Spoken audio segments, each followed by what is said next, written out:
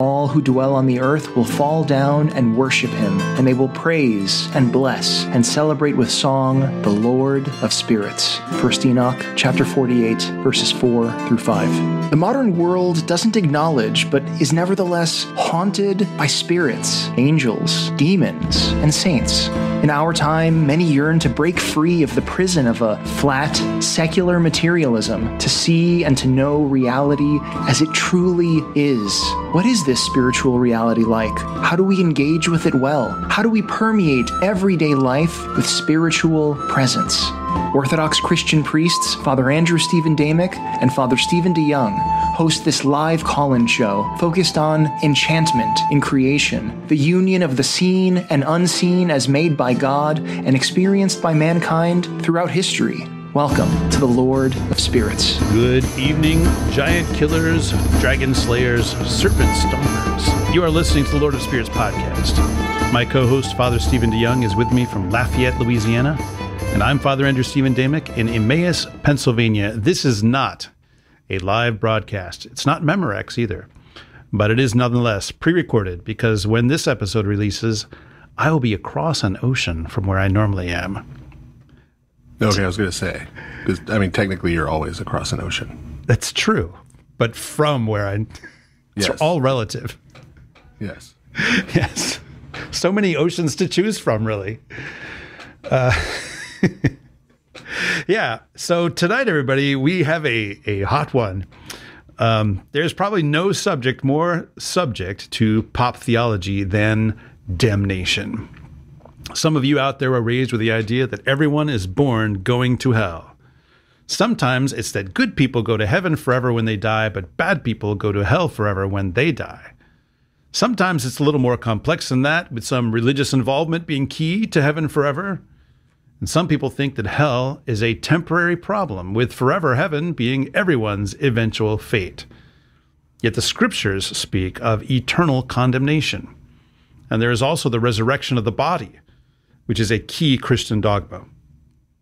So, what is eternal condemnation? What are the biblical images? Is universalism an acceptable Orthodox view? It's a hot and spicy episode tonight. So, Father Stephen, isn't it true that with really core questions like the nature of damnation, that there are a range of acceptable Orthodox views and we could just pick the one that we like best? No. Good night, everybody. Haven't done one of those in a while. Yeah. The. uh I, I think you know I, I read your little intro thing and I think I got the wrong idea because I have like this tray of successively spicier hot wings in front of me. I thought we were doing that Oh, when you said it was a hot one. so you're gonna But, like um, as we go, you're gonna taste another wing and That's that was where I thought we were going, but I, I'm I'm thinking maybe I, I read that wrong. an animated GIF of Shaquille O'Neal tasting Yes. a spicy hot wing. Um, but yeah, the the idea. I mean, we'll get into this more later, obviously. But uh, orthodoxia, right? Right or correct opinion or viewpoint or perspective. You can't have multiple ones. Yeah, it's not like the you know the details of like should you wear high back or low back vestments, right? Right. Where there's Because that is variation. not a matter of orthodoxy. right. Right. Right. that distinction, right? Like you could have an infinite number of heterodoxies, like by definition. There could be a, an infinite number of other opinions that are incorrect to varying degrees. But you can't have like these two or three conflicting opinions are all correct. right. Right. I mean, of basic logic. there can be, as we've pointed out many times, there can be variation in language. You know, like is man body and soul, or is he body, soul, and spirit? Well, those are different ways of talking about essentially the same thing, but Yes. That's not that's not what we're talking about here. Yes, but if there is genuine disagreement, where there is genuine disagreement, you could both be wrong. You can't both be right Right? equally and in the same sense. Yes. This is how Yeah, this is just very, very basic logic. Yes. and this is this is actually a good way to set the tone for this episode because um one of the themes tonight is going to be this isn't really hard. This isn't really a hard question. This is really simple. You could read scripture, you could read the Father, you could read our hymns. Like, there is no real ambiguity here.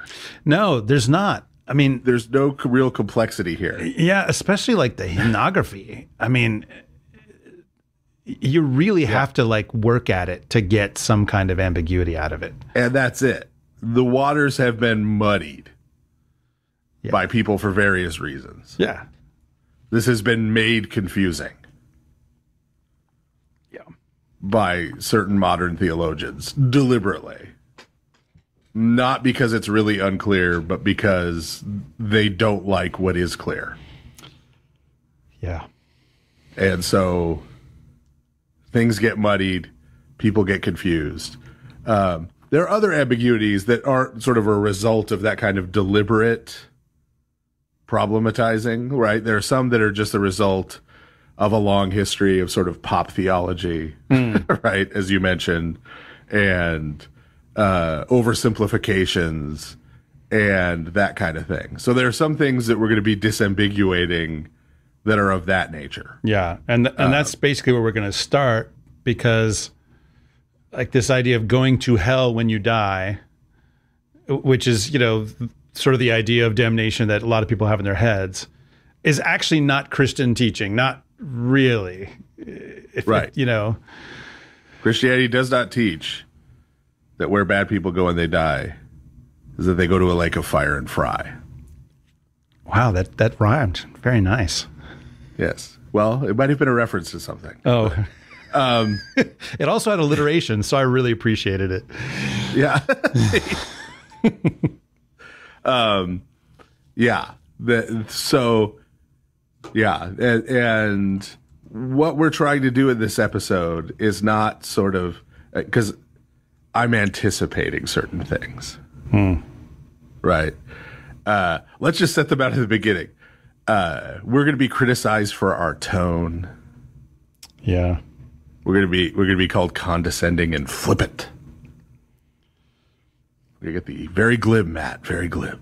Um, and uh, we're we're uh, Warning: This podcast so- includes sarcasm. yeah, it's it's so lame because I know exactly like already in advance. No matter what we do, we're gonna get accused that we're uh, teaching our own opinion as if it was the teaching of the Orthodox Church. Um, because we're going to disambiguate the teaching of the Orthodox Church, and some people aren't going to like it, and therefore they're going to say, "Well, that's not the teaching of the Orthodox Church. That's just like your opinion, man." um, which it isn't, I caught that reference. right? There, there are these things. There are these things we're going to get. Where there's, there's going to be uh, appeals to authority with uh, uh, smart people who uh, disagree with this, um, because we're going to be pre- the way we're going to be presenting it. uh, Call this a trigger warning. Like I said, our goal here is to present the apostolic teaching on this, and so we see people who disagree with that as disagreeing with the apostolic teaching, and so we're going to get yeah, well, so and so disagrees and he's really smart. Um, you know, whatever. Those are those are the things. Just say advance we're going to get, um, and it's not actually going to be with reference to any argument we make or any data we present or any material we present. It's all those things are just based on disagreement. Yeah, I mean, there there are some you know substantial disagreements that can be made, and we're going to talk about some of that stuff as we go. yeah yeah but yeah. but but uh if you want me to do anything that just kind of like chuckle and treat it as a trophy your your virulent criticism of this episode you need to actually respond to the content There we go. Not just take shots at me or talk about how much smarter your guy is, right? In your mind. Um. So yeah, so the first big disambiguation we need to make is between Hades and hell, sort of. Yeah. Like, on the one hand, these are synonyms in the sense that they both, th- that like Hades comes out of Greek and hell comes out of the Germanic languages. And both refer in those pagan contexts to uh, a place, uh, the, the underworld, you know, where where people go when they die, um, especially you know in a pre-Christian sense. Um, so in in that sense, they really they are synonyms, and of course, it's why hell is used in the King James Bible because that is the traditional wor- word for the underworld in Germanic languages like English. You know, Right. Right. Um, but in modern English parlance, uh, hell is used to refer to where bad folks go when they die. It's used to refer also to the place where the devil and demons and bad folks go after the last judgment. And those two things, you by using the same term, get sort of smushed together. Then you get your po- your um, added Miltonian uh, notions of the devil being like the ruler of hell, yeah, which is, I mean, is frankly kind of pagan, Right. instead of being confined there, right? So yeah, look at the transition. If anybody still doubts me on this Milton thing, look at the difference between the devil in hell in Milton as romantic figure who'd rather rule in hell than serve in heaven and the devil in Dante, Mm, yeah, right. Right? who's the prisoner in the deepest pit. Yeah, there's not a lot of time between those two texts. Um, in the grand scheme of things. Yeah. That's- Yeah. um, yeah. but there's a definite transition there the way the devil's viewed and just kind of the popular christian world at least in the united states the miltonian view is the one that has has sort of taken over despite its sort of ahistoricity and the fact that it's not really reflected in the bible per se either um so um Hades, right? Hades. And we talked about this um, in terms of the cosmic geography of the underworld in uh, uh, I think that was the that's what we talked about in Down to Hades. Down right? to Hades, a chthonic, uh, chthonic. I'm never Chthonic, sure how to pronounce yeah. that word. Chthonic Yeah. Odyssey. Yeah, that's sort of like the And then- geography of the underworld. Right. Yeah. So we talked about the underworld as place with place in scare quotes, right? Because of course, what do we mean by place? We don't mean like an extension of physical space that you could measure, right? Like we we've gone through this before that this is spatial terms and temporal terms being used sort of analogically, right? Because of course, the underworld is full of at least relative to us humans, bodiless beings, right?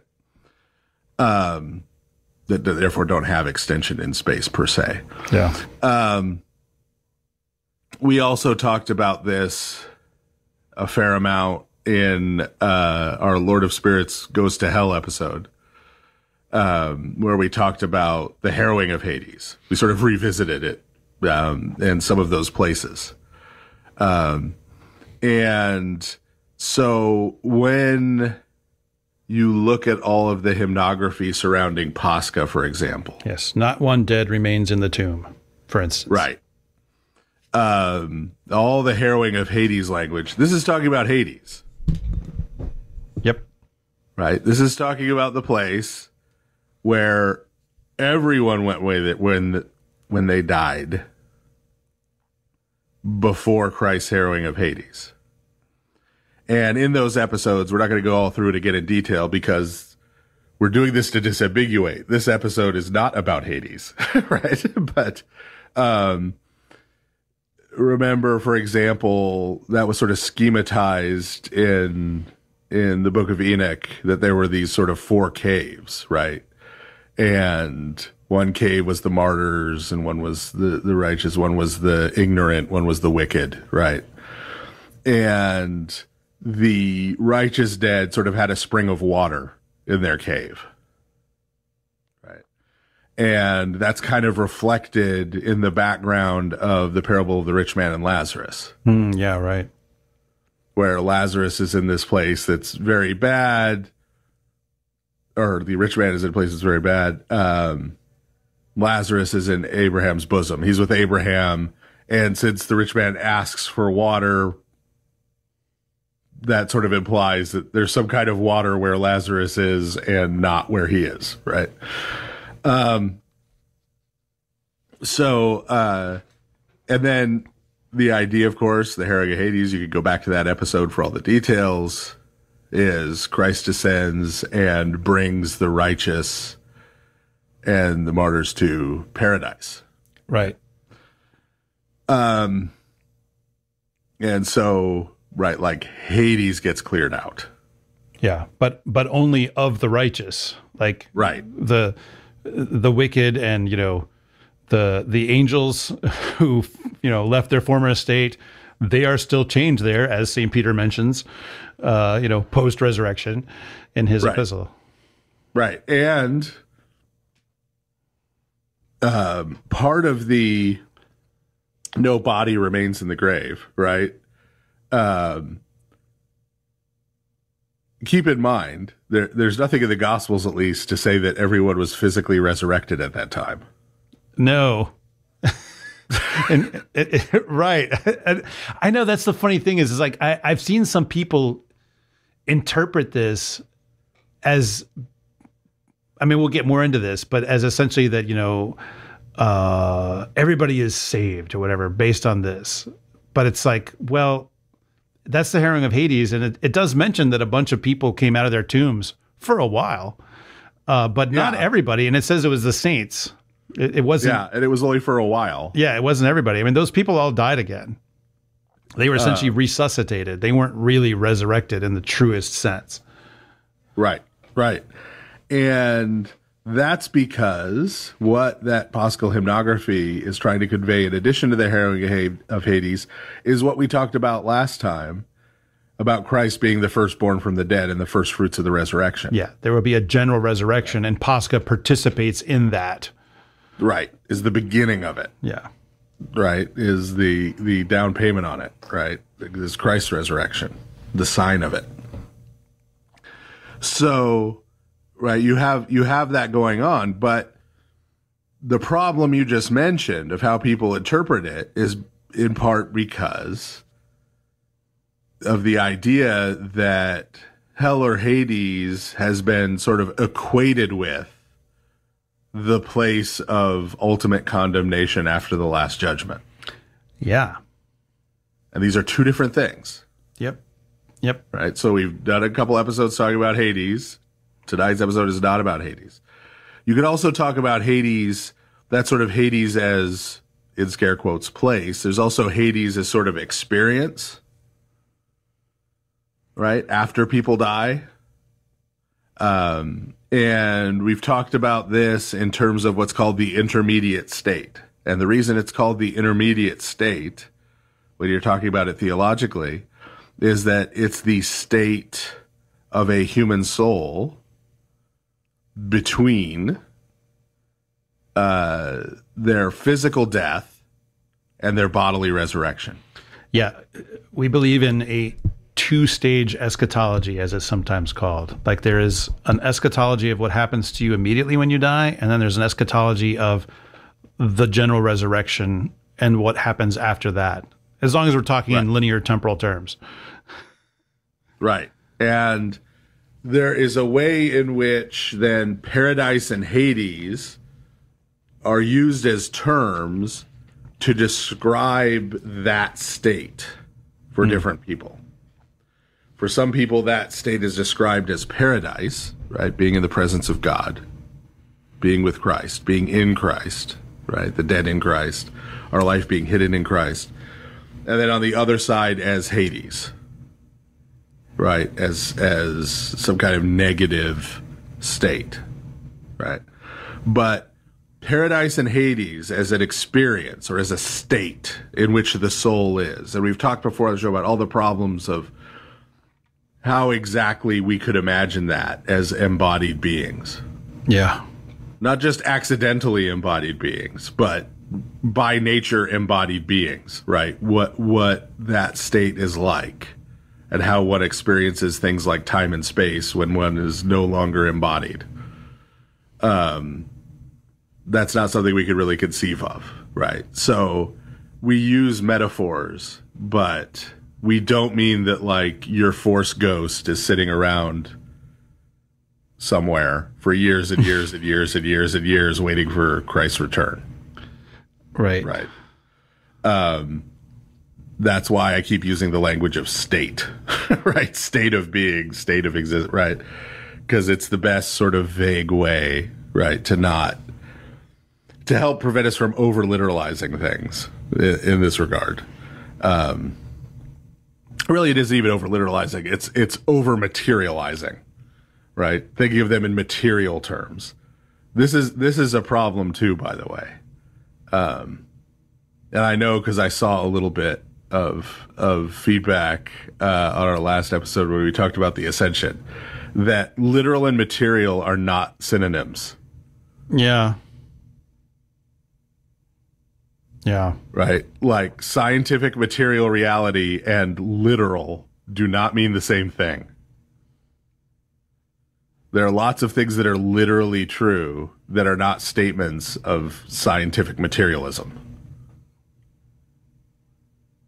Um, yeah. So all the things that scripture says about the intermediate state, about paradise and Hades and how they're experienced by people after the death of the body are all literally true.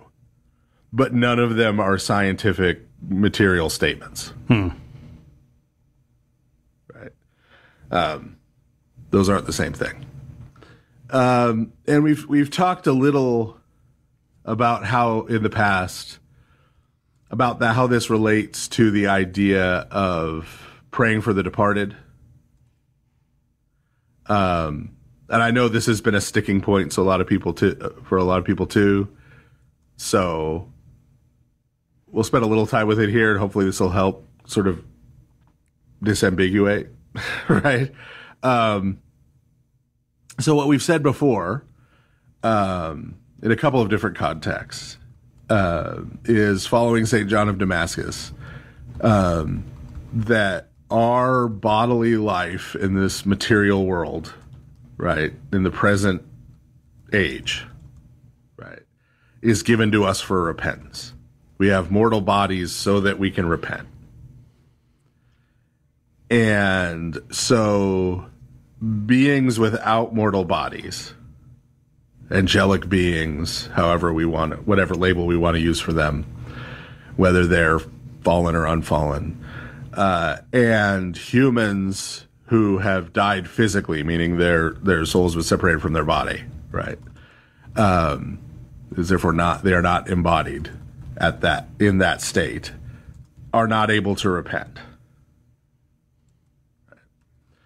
Um, and so repentance is sort of confined to this life.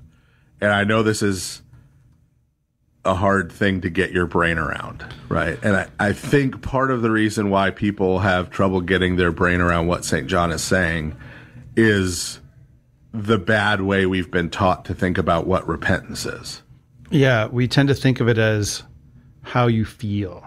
Really, I mean, that's really what it comes down to. Is and like, I mean, we've all heard this right in confession. People saying like, "I know I'm supposed to forgive, but I I just don't. I just can't forgive him. I just can't forgive her." And by that, they don't mean I can't take the uh, 3D world actions not to take revenge. to be reconciled. They mean I don't I can't imagine that I will feel any differently about this. Right. You know? I can't. There's not a wand I can wave where I don't feel hurt and upset Right. about Right. what happened. Right. And it's like, yes, you are right. There is no such forgiveness is not the opposite of feeling hurt and upset. Yes. Yes. Um, and and well, I'll just go ahead. As is my want.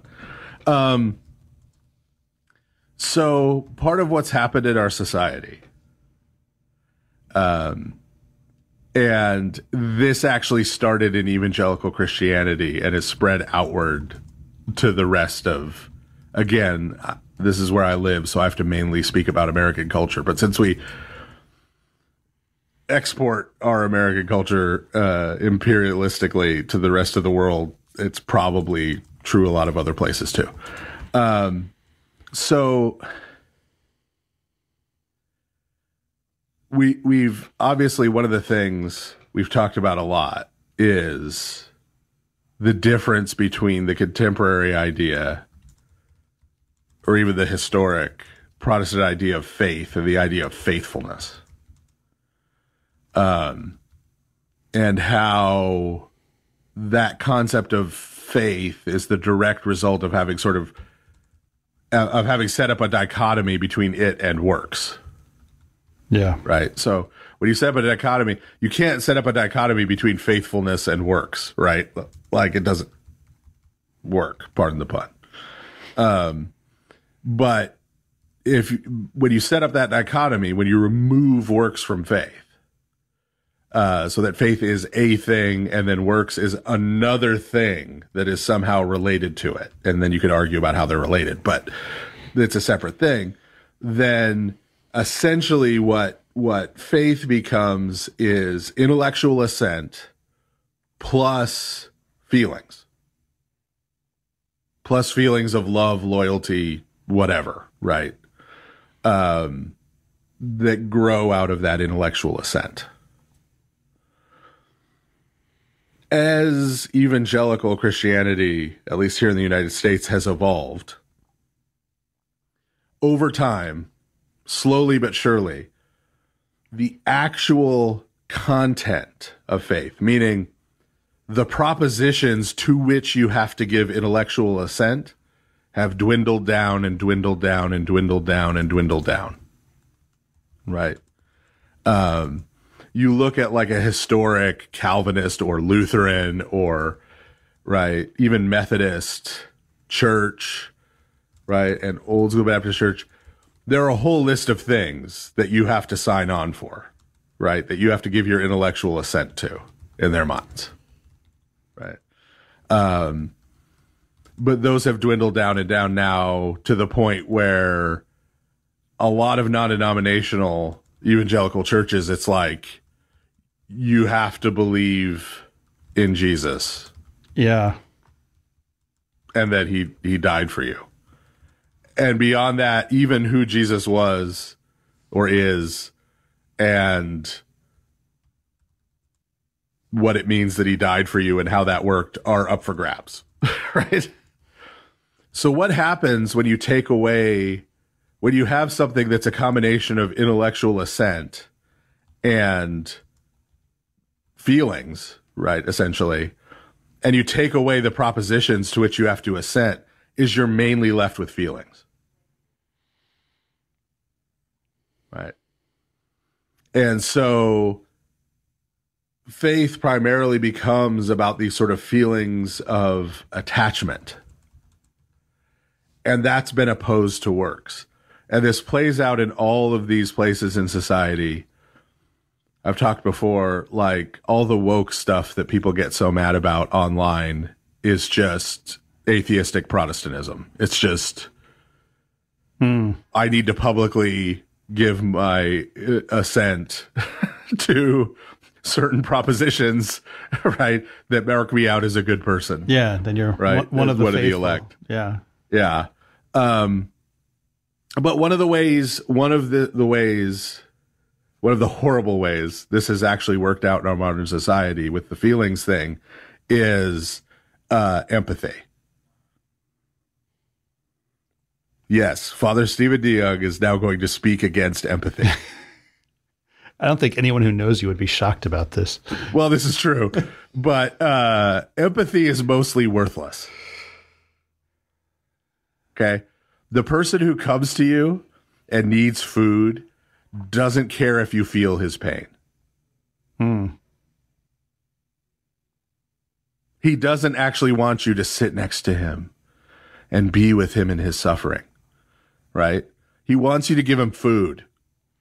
Yeah, I think most of the people who want the empathy, their lives, in terms of like their needs and their suffering, their lives are probably pretty good most of the time.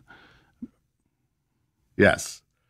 Uh, actually doing things has value, right? Thoughts and prayers, tweets that you're thinking of someone, right? Don't help them. Helping them helps them. Calling them and spending time talking to them, if that's what they need, again, actually doing it helps them.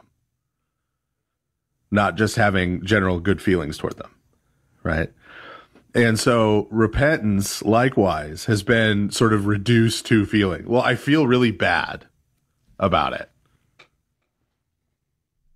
That's repentance. Yeah, no, it needs to be change. You got to make change.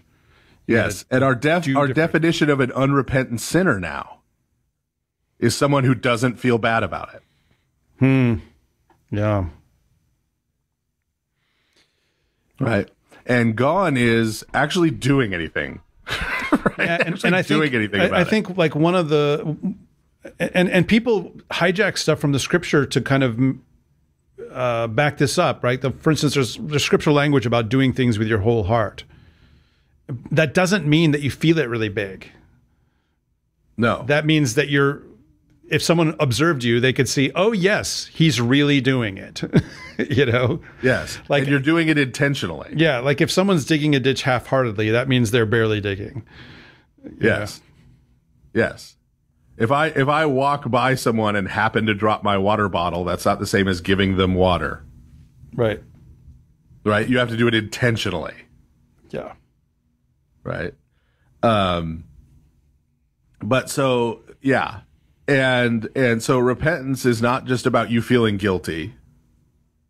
It's not about it's definitely not you feeling bad about the consequences of your actions and wanting to get out of them. Um eh, but then you you have this whole and, and this is destructive in the case of repentance because people get lost in this sort of psychoanalytic maze right of oh am i really repentant? I don't know. Am i am is it just because of the consequences? Yeah.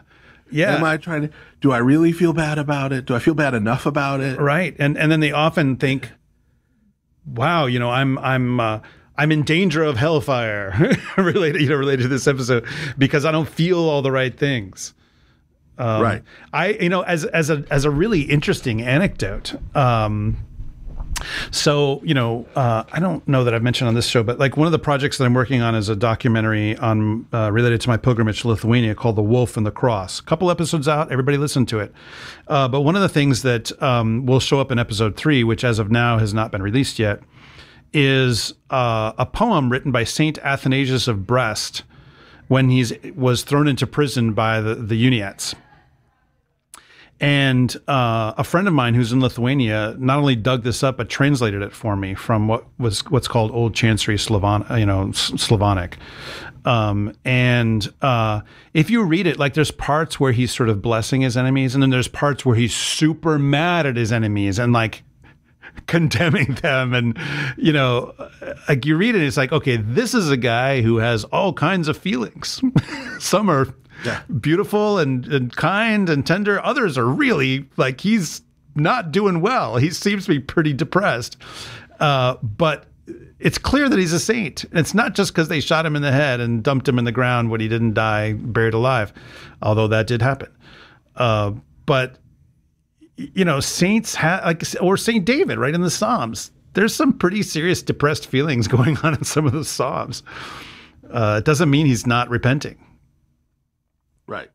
Right. Yeah. Feelings are epiphenomenal. They're they have value only if they're related to your actions. Yeah. Yeah. Without actions, they're valueless, right? Someone in your community has a spouse pass away, right? You sitting in your house and feeling bad for them does nothing for them. You making some food and bringing it to their house does something for them. You actually doing something for them, right? And and you doing that for them and going over there with the food and eating the food with them, there will be feelings and emotions that will come along with that and that you'll share. But those will be valuable because they're accompanying what you're actually doing. Yeah. Right? They aren't valuable just sort of in abstraction in and of in and of themselves, right? Um so on the one side, yeah, it's not a, repentance is not about how you feel um, so when we say that uh, demons can't repent, we don't mean demons can't be like, man, this stinks. I'm going to be confined to a lake of fire for all eternity. Yeah maybe I should change my mind. I mean, right? You know, like we don't know what it's like to be a demon, right? We got. I mean, yeah, but I mean, there's the scene right in in uh, First Enoch where the Watchers are like, "Hey, Enoch, God likes you. Can you go put in a good word for us? Maybe get us out of this punishment a little early." Right? That's not repentance. No, and and even the the the rich man and Lazarus there's not any repentance in any of the things he says. He just doesn't like to suffer. Yeah. He's just like, yeah, I don't like this suffering. And hey, I like my family enough that, you know, I don't particularly want them to suffer like this. But that's not repentance. Right. Right. That's not repentance. Um, so we're not saying that somehow being outside the body means you can't have certain feelings or think certain thoughts. Yeah, we don't. Of course, even, you can. That's we don't know. Yeah, yeah, that's not repentance, though. Yeah. Um, and it's also not about making God not mad at you. Right. Repentance is not something you do, and this is more maybe from another perspective. This may, this may come. Well, this is another thread in Western theology let's just say, because there's various Western groups that are more on this side, where it's you have sinned, you have broken one of God's rules, right? Therefore, he's quite irate, and right, you, you're he's going to send you to hell unless you do whatever is required, right? Um, usually involving ask just asking for forgiveness but sometimes doing that in a context, right? Um, then if you do that, then you're off the hook, right? And God's not mad at you anymore. Yeah. Right? That also is not repentance. There is nothing that we do in the church that changes God. Yeah, or or in the somewhat amusing to me, but really on point words of uh, Metropolitan Hierotheos Vlachos, uh, God does not need therapy. Yeah, he does not need to change, um, and doesn't, and isn't going to. So, yeah. um, so the the um, this is the difference between liturgy and prayer on one hand and magic on the other. Hmm. Right. We aren't trying to change God. God doesn't need to change. The father in the parable of the prodigal son always loves his son and is always waiting for him to come home. Even though disrespected by his son pretty abominably and abandoned, etc., etc., he never gets angry at his son and throws him out or puts some barrier in the way of him coming back. Yeah. Right. So this has this has nothing to do with repentance has nothing to do with changing God. Repentance is about when you sin, you do damage to yourself and to other people and to the world around you. And repentance is you doing everything you can to repair the damage you've done and to heal it, both to yourself, to other people, and to the world around you.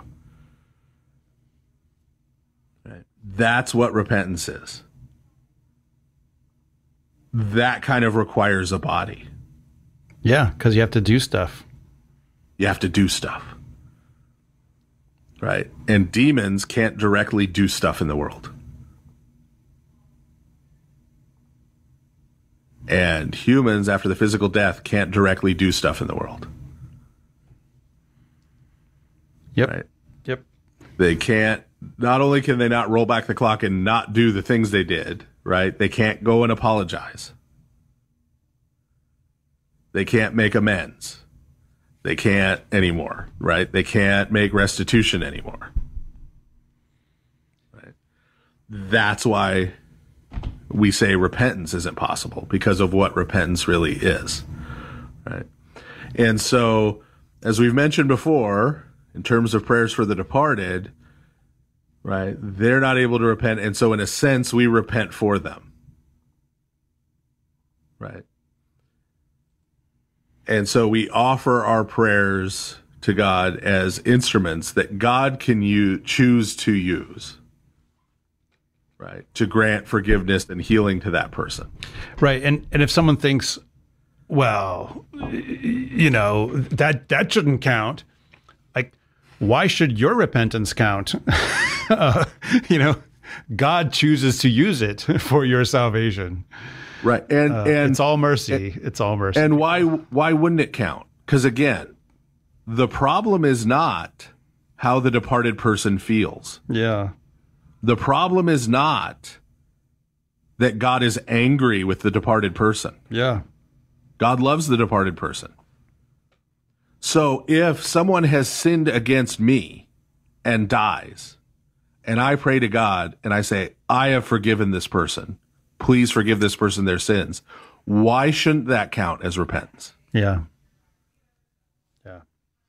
Or if someone I love has done something I know and I go and in their name try and fix it in the world, why would that not quote unquote count? Yeah, because it's a legalistic view, you know, of, Right. or, or a So sort of a financial view, you know. if you have a correct view of repentance, right? I find out my departed loved one swindled somebody, and I go and I give the money back to that person and make that person whole and apologize on their behalf, right? And heal that. And I and the person my loved one swindled pray and ask God to forgive that person, right? Like, again, I don't understand why this is complicated. Yeah. Yeah. So, Other than we have a weird, messed up view of what repentance is. which we do. yeah.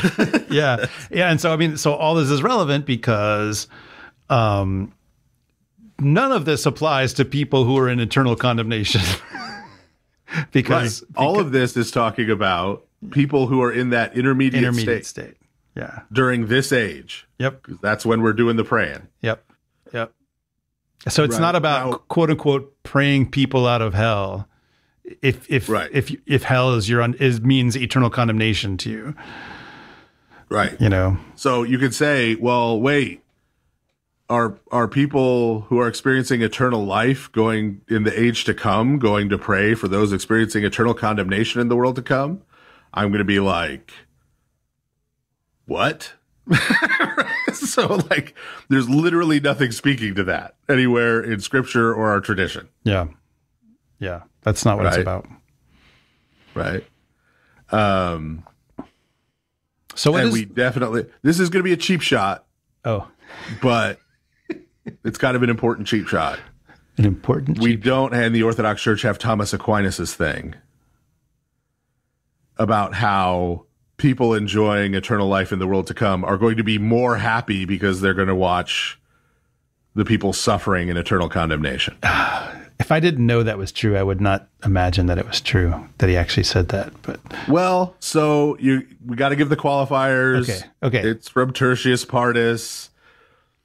It's based on his notes. He didn't actually write it. It okay, was and and and right at the end of his together, et cetera, et cetera, et and at the end of his life, didn't he say, Yeah, I got a lot of stuff wrong. But well, that this was after that, but it was from his oh. note. He didn't finish it, oh, I see. Okay. Okay. right? So they did it from his notes. Had he lived, he might have edited that out or said something different or framed it somehow or whatever. But Nietzsche and everyone else has been quoting that for a couple hundred years now. So It's been received as a thing. that is no part of, I'm just saying that's no part of Orthodox tradition. There you go. If Roman Catholics want to come to me and say that's no part of Roman Catholic tradition, I'll be happy. We rejoice. I'll say good. yes. Good. This is when we're we're together on this. Yes. Yeah. Yeah. So so yeah. So okay. We, we we've spent this whole half disambiguating what does happen to Hades. Uh, you know. Right. Long term. Right. So so Hades, the underworld, that intermediate state, however we want to talk about it, whether we want to talk about it as the underworld and those kind of quasi spatial terms or the intermediate state and sort of quasi temporal terms, this is part of the present age, the current creation. Right? Mm-hmm. This world over against the world to come, right? And so it is something that is destroyed at the last judgment. And actually, actually, though a lot of people I don't think have have really thought this through, both what we call heaven and what we call hell in our common sort of modern American parlance, right? Um, these intermediate state places, right? Uh, cease to exist because there's going to be a new heavens right? It's not just a new earth, but a new heavens. Hmm. Notice though, so th- there's a tripartite division in the scriptures. There's the heavens, the earth, and under the earth, right? The underworld. Notice there's a new heavens and a new earth. There's no new underworld, How about that? No basement. right? So there's sort of a contrast here, right? Isaiah 24, verse 21, for example, talks about the purification of the heavens.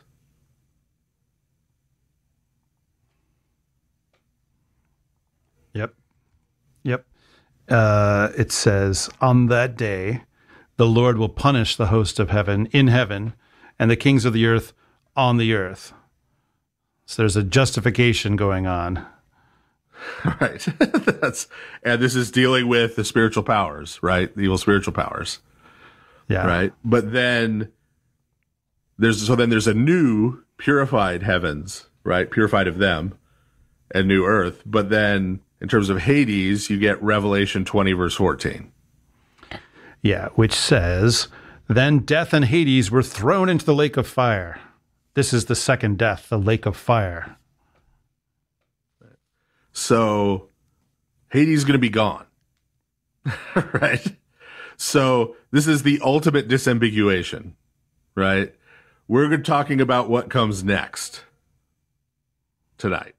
We're talking about after the day of the Lord, after the last judgment, after the resurrection of all the dead, after the glorious appearing of Christ what comes after that for those who experience condemnation. Right. And even though we're using the eternal condemnation language in the biblical idiom, this is the condemnation of the age to come. Yeah. Right. Literally the condemnation of the age, meaning the age to come, not this age. Right.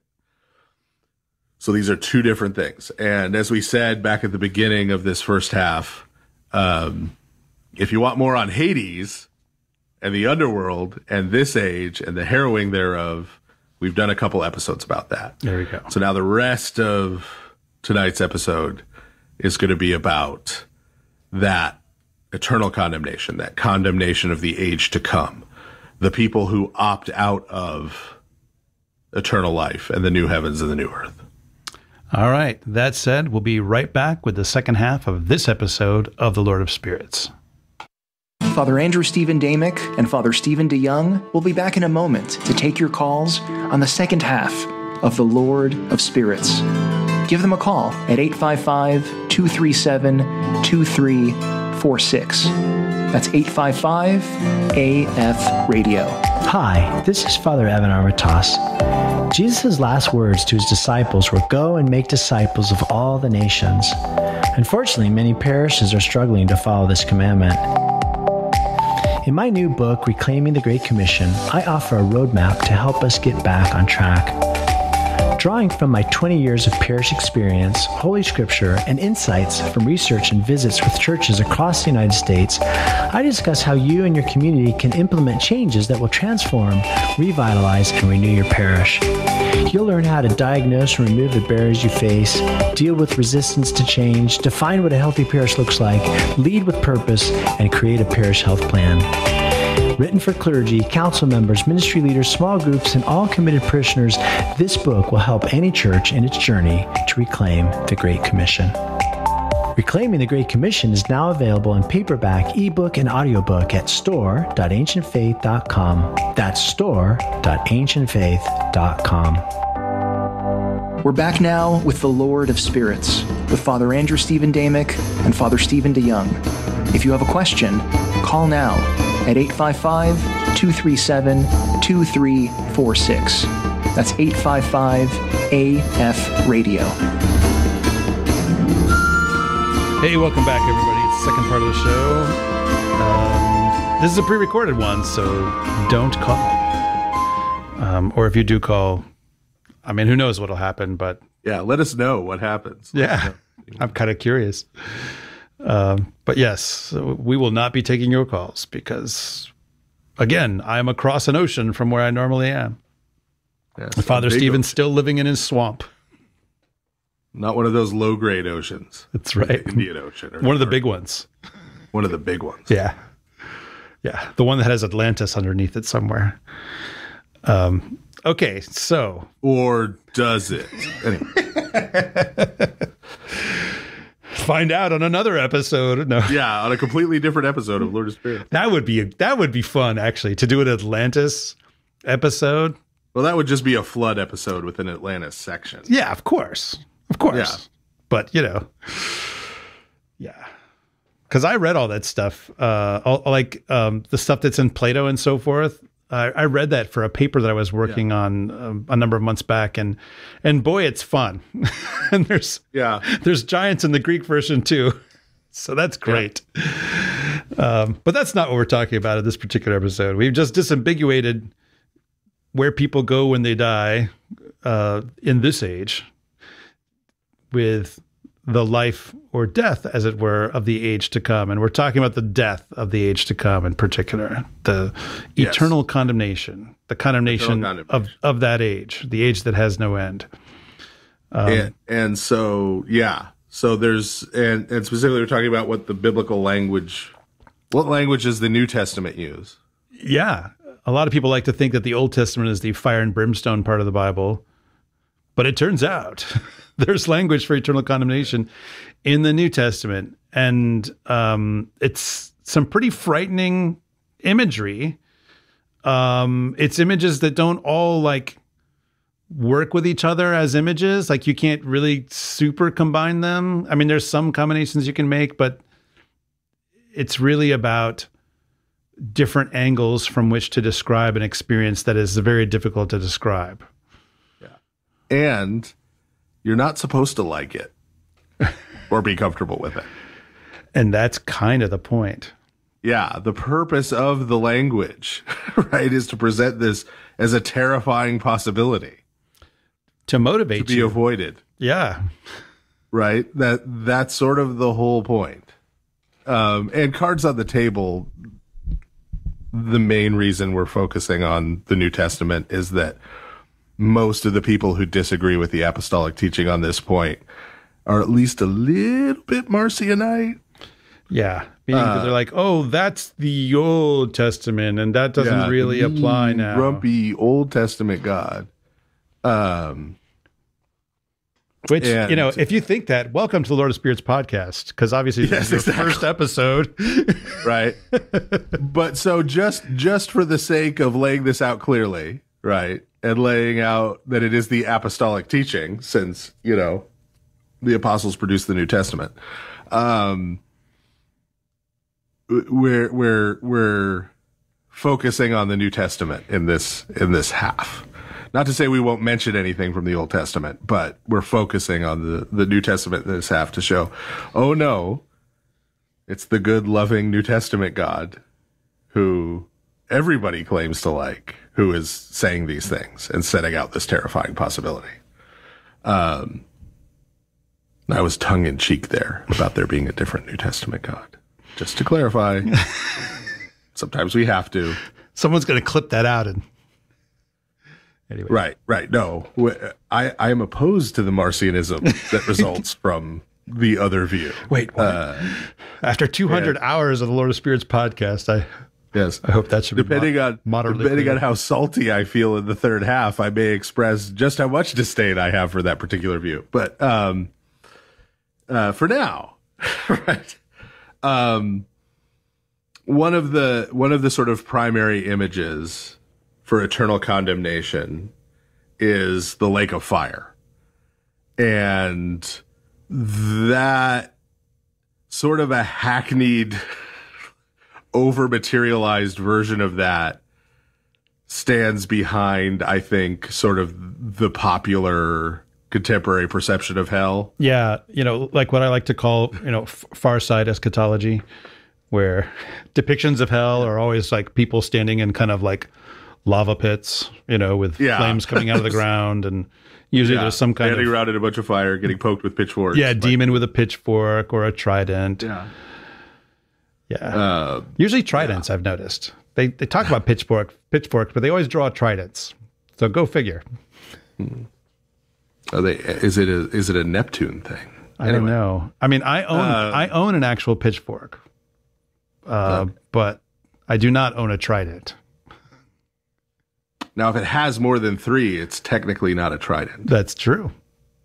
Sometimes you get these things that look kind of like tridents but have five. Quadrant, like pentadent. By yeah. definition, not a trident. Pentadent, pent, pentadent. I don't know.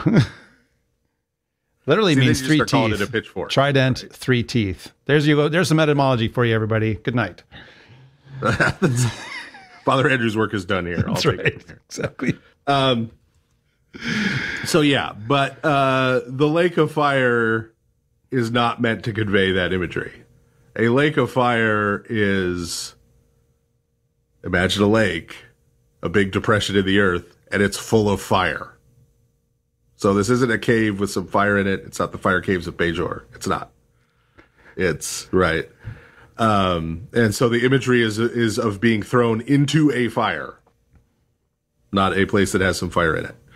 Um, the lake of fire image isn't found in the Old Testament per se. Hmm. Daniel 7, which we've come back to many times with the enthronement of the Son of Man, when it talks about the judgment, describes a river of fire. Which is uh, not at the judgment. Not the Cuyahoga River in Cleveland, much to my surprise Yeah. although it has been ablaze. yes. On occasion.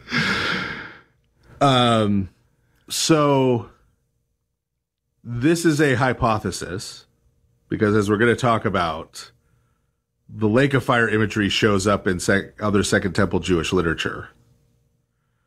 Uh, hypothesis that there is a connection between this river of fire and Daniel and the lake of fire. The idea being the river pools into a lake. Yeah. It seems odd that River of Fire and Lake of Fire would be completely disconnected. Right. Especially since the main place where we see the Lake of Fire imagery is the Book of Enoch, which is obviously influenced by Daniel 7 in a bunch of places. Yeah. Related to the Son of Man and other things. Right. Um, so there is likely a relationship there but we don't have the data to like conclusively show. So this is just sort of an Occam's razor thing, right? that that those are probably related. But we do get this imagery of the lake of fire in First Enoch. It's the place where the Watchers get chucked um, for their sin and wickedness, right? It's Tartarus. It's the abyss. It's the deepest part of the of uh, the underworld, right? It's it's the horrible place of punishment for demonic powers. And so when the lake of fire comes up in the New Testament, it's also kind of unsurprising that it's in the two books of the New Testament that are most influenced by the book of Enoch. Those being the Revelation of St. John and St. Matthew's Gospel. Um, the book of uh, Revelation, it comes up, of course, as you might expect at the end. And just like in, and specifically in Revelation 19, verse 20, 20, verse 10, and verses 14 and 15 of chapter 20. Um, in that context, much, much like First Enoch, right? Death, Hades, as we read in the last half, the beast, the false prophet, the devil, right? All of those demonic power all get chucked into the into the lake of fire. Also, however, along with them are those who received the mark of the beast, meaning those who those humans who joined with the demonic powers, who allied themselves with the demonic powers in their rebellion against and hatred of God. Wait, are you saying it's not people who have credit cards or people who get some kind of medical Vaccine? intervention? Just say medic- it. uh, say medical not people who intervention that we're not. Yeah. Just say it. Once again, the mark of the beast, if you read Revelation, the mark of the beast is talked about in tandem with a mark of Yahweh, a mark of the Lord. It's just that So one. whatever you say the, the mark of the beast is, there has to be a corresponding one for faithful Christians. yeah. So if it's a barcode tattoo, then there's going to be some kind of divine QR code issued by the church Yeah. on people's foreheads. Yeah. It, it turns out, everybody, it's actually about what you do. Yeah. Yeah. You know, But so, yeah. So unless your proposal, anybody who proposes X is the mark of the beast to you, you have to say, okay, is there a holy X, right? That stands in contrast to it, right? So, is the church issuing a different vaccine? Uh, is right. So otherwise, it can't be the mark of the beast. Things can be bad without being the mark of the beast. Also, yes. yes, not everyone you disagree with is Hitler. Yeah. And my favorite Right. from recent years is there's now something called the forerunner to the mark of the beast, which I'm like, is that a theological category now? Because I don't know. anyway. Yeah. Again, things can be bad without being the mark of the beast. Yes. You don't have to. It's not all or nothing. Two things can be bad, right? like, um. So, uh, but as I mentioned, uh, the lake of fire language is also used uh, in Matthew, specifically in Matthew 25, verse 41. And this is the last verse, this is the end of the parable of the sheep and the goats. Yeah. Yeah. Where you get, uh, Jesus says, I mean, again, this is Jesus speaking, by the way, everybody. Uh, then he will say to those on his left, Depart from me, you cursed, into the eternal fire prepared for the devil and his angels. Now, this is important because uh, notice he says that the fire is prepared for the devil and his angels, the devil and his messengers, meaning not for humans. Yeah. The purpose of the lake of fire was not for humans. Say humans that God hated and created to be vessels of his wrath. Sorry, Calvinists. Right? But for the devil and his angels. Right? So, as in Revelation, right, the humans who end up there, it's like, it's because they've decided to sign on with the devil and his angels right? The devil and his messengers. That's how they they end up there, right? So what is this fire, right? Well, we're not we're not talking about like obviously material fire, as we mentioned with the Far Side thing, right? This isn't like people are literally. I mean, it is after the bodily resurrection, but it's still not a literal place, literal material place of literal material fire where people are set on fire. Wait, I'm not supposed to get my eschatology from Jack Chick tracks either? No. Because it's funny, like I have, I now have, thanks to a very kind listener of the Areopagus podcast, I have in my studio a complete set of all the currently in print Jack Chick comics. And whenever he depicts hell, I mean, that's what it always is big flaming space with, you know, demons with pitchforks who are really happy to see you and stabbing you in the butt, you know. It's amazing. I mean, that would be that would be a kind of hell for them, I imagine, because it would have to get boring.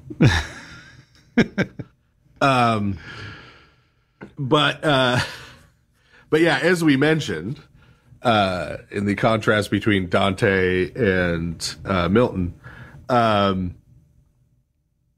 the answer to the question, uh, "Who's the boss?" Angela is the boss. in hell in eternal condemnation is not Angela or Samantha or Mona. Definitely not Tony.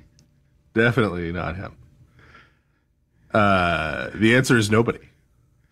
Right, because it says in the scripture that the all those who get tossed into all those who get tossed in the lake of fire are tormented forever and ever. Right. And it was prepared specifically for the devil and his angels to be tormented forever and ever there, Yeah. right? That's, what, we're told That's what it says. by scripture. So he's not in charge there, right? And the reason uh, I'm emphasizing this is not just we have this wrong idea in our head due to Milton, but people have this idea in their head. And again, we're gonna we're we're gonna, cards on the table. We're going we're gonna be going after universalism head on in the third half. Okay, Huzzah. um, people will act as if if some person ends up experiencing eternal condemnation, that somehow the devil has won. The devil has claimed this person. Like, no, no, the- the devil is a loser. Again, welcome to the Lord of Spirits podcast. right. this is one of our frequent themes. The devil is a loser. right. Right. Dragging someone down with you is not winning. Yeah. Right? That's not winning. Um he doesn't have a kingdom of any kind, right? We are not Greek pagans, Yeah. Um, or actually almost any kind of pagan, honestly. but yeah, yeah. But so what what's going on with this fire imagery is not just hey, being on fire is an image of horrible, horrible pain, which of course it is, right? Of suffering, right? It's a bad thing that you want to avoid. Um, but the this is the the fire that comes from God, right? See death by holiness. See Nadab and Abihu, the fire that comes out of the presence of God and consumes them, right? So this is this is about God's holiness. When the wicked come into the presence of God's holiness, right? It's compared to the scriptures to fire because this is pain or suffering, right? Even when like think of Isaiah. Isaiah comes into the presence of God's throne and is like tearing his clothes and it's like I'm undone. Right? I'm a man of unclean lips for people with unclean right? Um let alone the devil, right? Um so this is talking about the experience of the presence of God by those who are confirmed in their wickedness, right? That's the imagery that's going on here right? But as we talked about when we've talked about mortality and human death and the ways in which that's a mercy or a grace from God, right? If you don't have that, right? Nadab and Abihu drop dead. Yep. Age to come, no one's going to die, right? In that sense, uh, the sense of physical death, right? Because the resurrection has happened and everyone was raised incorruptible. Everyone. And uh, just a note here before we move off of the fire imagery. uh, because I wanted to just briefly touch on it. Uh, in a couple of places, uh, the term Gehenna is used, and we talked about this back in the uh, Chthonic Odyssey episode. Um, the way the term Gehenna is used, um, and in some of the church fathers, they use the term Gehenna as opposed to Hades in order to do what we were disambiguating in the first half. They'll use Gehenna to refer to eternal condemnation and as opposed to Hades to refer to in this age, right? Um, and we mentioned in that episode how it's a reference to the Valley of Hinnom. Um, the reason I'm mentioning it here is that you get the garbage fire explanation, which it seems like maybe isn't true. Uh, maybe hmm. it burned garbage there. Um, but rather uh, that's connected to the history there of Israel having offered their firstborn to Molech there, the, the demonic worship that went on there. Uh, and it's also a valley next to the mountain of God. So you have the geography, right? Uh, symbolism there. Um, but so I thought we should at least comment on that because the word gets for more on how that word is used in the New Testament, see previous episode.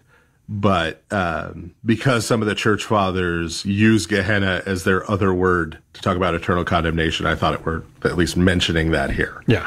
Um, the uh, it's it's not clear in its New Testament usage which it's referring to.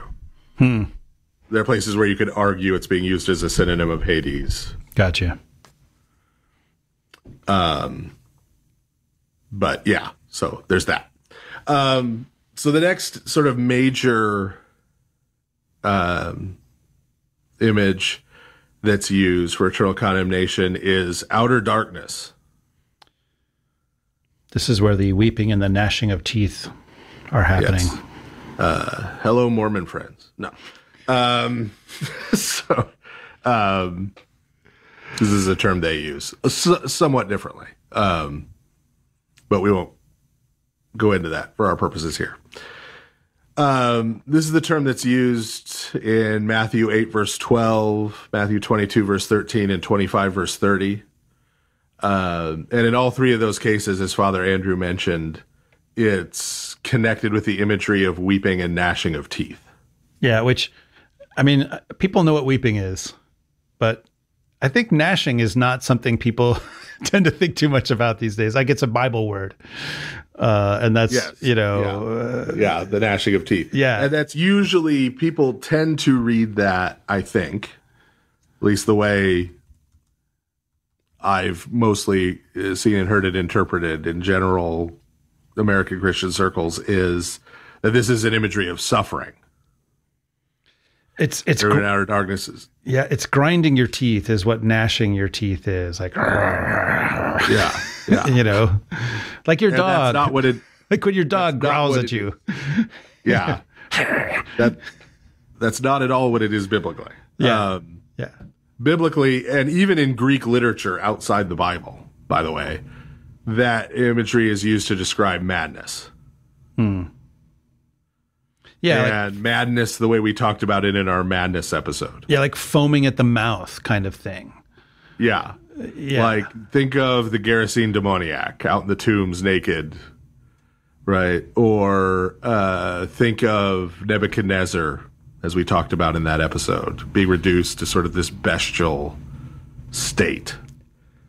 Um and so that's sort of the and and you can find this all kinds of places in Job at one point, uh, Job says that his enemies gnash his gnash their teeth at him. Right? Meaning they're sitting there like enraged, right? They're angry, right? They're they're descending upon him, right, like wolves to destroy him violently, right? Um not that they, you know, grind their teeth at night because man, that Job. yeah. Yeah, I mean, it shows up a bunch. Care about that. It, it shows up a bunch of times in the in the Psalms, and it's literally it's every time it's about you know the wicked gnashing at gnashing their teeth at the righteous. You know. Yeah, yeah. Um, And so this is a this is a good place to point out with this outer darkness that the different types of language used are not on a woodenly literal level compatible. Like fire and darkness are strictly speaking opposites. Yeah. How can outer darkness have a lake of fire in it? Yeah. right. Like, um, so if you take it at that very literal level, right, it's contradictory. But of course, as we've already mentioned, that's not how this is to be understood, right? And so we're getting different imagery for something that we fundamentally can't understand from our embodied human perspective now with our pre resurrection bodies, right? We can't understand what that's going to be like. And so we're given imagery that pertains to our bodily existence in this age as m- different metaphors, Yeah. right? So we can't understand what that would be like. But uh, if you've ever been camping, you know, where there's sort of no ambient light on a dark, cloudy night, right? where there's no ambient light from the city or anything around, where literally you could put your hand an inch in front of your face and you can't see anything, right? Or you know, if, Uh, you, if you visit, if you've taken one of those cave tours, where at some point Yeah. they'll say, "Okay, everybody, turn your flashlights out." I, I went on one of these when I lived on Guam because there's a lot of caves on Guam, and we all turn our flashlights out, and the tour guide goes, "This is what it's like in the heart of an unrepentant sinner." I'm not kidding. I was like, "Whoa!" Wow. I know. um, but just feel bad and everything will brighten up. Um, nah, so, uh, yeah, My but that is my that is a, traumas a- here. that is a terrifying experience yeah, for us in this Yeah. age to be in that kind of darkness, right. right? Especially if you hear weeping and gnashing of teeth going on around you. Yeah, a little freaky, Right. a lot freaky. right? So this is an image of terror and madness. This is bad. This is something I want nothing to do, no part of, right? Um, being set on fire, very clearly, right? This is something I want no. I do not want to be thrown into a fire, right? So this is imagery of right terror, madness, right, suffering, bad stuff, right? Stay away from it right? Do the other thing. Eternal life is what we want, right? Um, and then uh, the third sort of major one is references to the second death or eternal death. And eternal death there is like the death of the age to come, Yeah. right? The, the first death being physical death. Visit right, right, and this gets used in uh, Revelation two verse 11, 20 verses six and fourteen, and twenty one verse eight. And the last two of those, the lake of fire is said to be the second death. Yeah. So there's a linkage between these these uh, images. Right. Even though they're not like directly, you know, the same thing. So what what kind of death is this is getting talked about? Right? Because uh there's another group of people um who we're we're only gonna pick on here. Since the third half will be reserved for a whole other group of people. Um who it's generally called annihilationism. Yeah, which is this teaching that you know good people in the life of the age to come get to be with God in heaven, but bad people are just erased. Yeah, cease to exist. Yeah. Um, so there's a bunch of problems with that. Um, one of them is that uh, there is no sense of the word death in the Bible that refers to annihilation. Yeah, I mean even physical death doesn't mean ceasing to exist. Right. Um, and we've talked about this before, but bears repeating. St. John of Damascus summarizes this. The, the reason I come back to St. John of Damascus a lot is that if you read his Fount of Wisdom, he summarizes, you know, he's in the eighth century, so he summarizes a lot of things from the preceding fathers and from scripture and synthesizes it. Yeah, he's right? great. He's he's this the schoolmaster. You know, he's really just Yeah. he's like a, a, a- a catechist. Really is uh, in Yeah. that that text. So if you're looking for good definitional statements, right? Like I need to explain, as we're about to, there's physical death and there's spiritual death and how they relate to each other. You go to St. John of Damascus, he's got it pulled together and can give you sort of a, def, a definitional statement, right, to help convey it. Um, physical death, separation of the soul from the body. Spiritual death, separation of the soul from God. So this obviously isn't eternal physical death. Right, because uh, there was a resurrection and everyone was Bodily resurrection and it's universal. As we've talked about. incorruptible. before. right? So everyone is bodily raised. So it's not eternal physical death. That's off the table. Meaning this is eternal spiritual death. This is eternal separation of the soul from God. And again, separation here is not spatial language. Yeah, because God is everywhere present. Yes. It is not implying that there is some quote unquote place, in some material sense, in the age to come where God isn't. Yeah, it's sort of any more than there is a place now where God isn't. yeah, it's sort of like being detached from God or unplugged, so to speak. But people can experience spiritual death nonetheless. Right. Yeah. And that's what produces physical death. We talked about that in the, the episode on the soul, for example. Um, so that's the kind of eternal death we're talking about. Let me add this about annihilationism. Okay. Um, the biggest problem with it is that uh, there are zero examples, zero examples in the universe of things that cease to exist in the terms that they mean that. there we go. Matter, energy, all that. Yeah. I mean, it's just pure Right. concept. It really Right. is. It's just pure Right. concept. A pure modern concept Yeah. Relating to, as we've talked about before, the dichotomy, the modern dichotomy between being and nothingness, or between fact and fiction. Yeah. Which we think in mathematical terms. There's a one and there's a zero. Right. Right. And and where to exist means to have bodily, physical, material corporality. Right. Um but in ancient terms and in biblical terms, as we've talked about before, the opposite of being is chaos. Right? So yes, you have seen and there are plenty of examples of places where there was a tower and now there is not a tower. Yeah. It went from being to chaos. Right. The but the yeah, the tower did not cease to exist. The matter which made up the tower is all still around. It's just, yeah. It's not in the form of a tower anymore. It's not organized and set in order as a tower anymore. When an animal dies, it doesn't cease to exist. It dissolves into its component parts.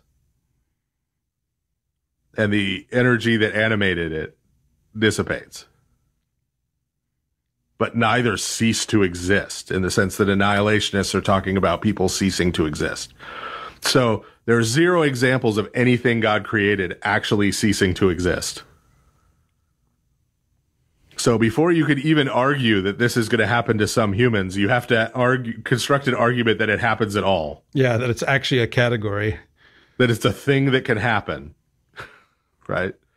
Um, good luck. Have at it. Um, John Stott's gone, so he can't help you. um, so we have to point out. So, and we've we've we've tried to be clear here when we use the term eternal.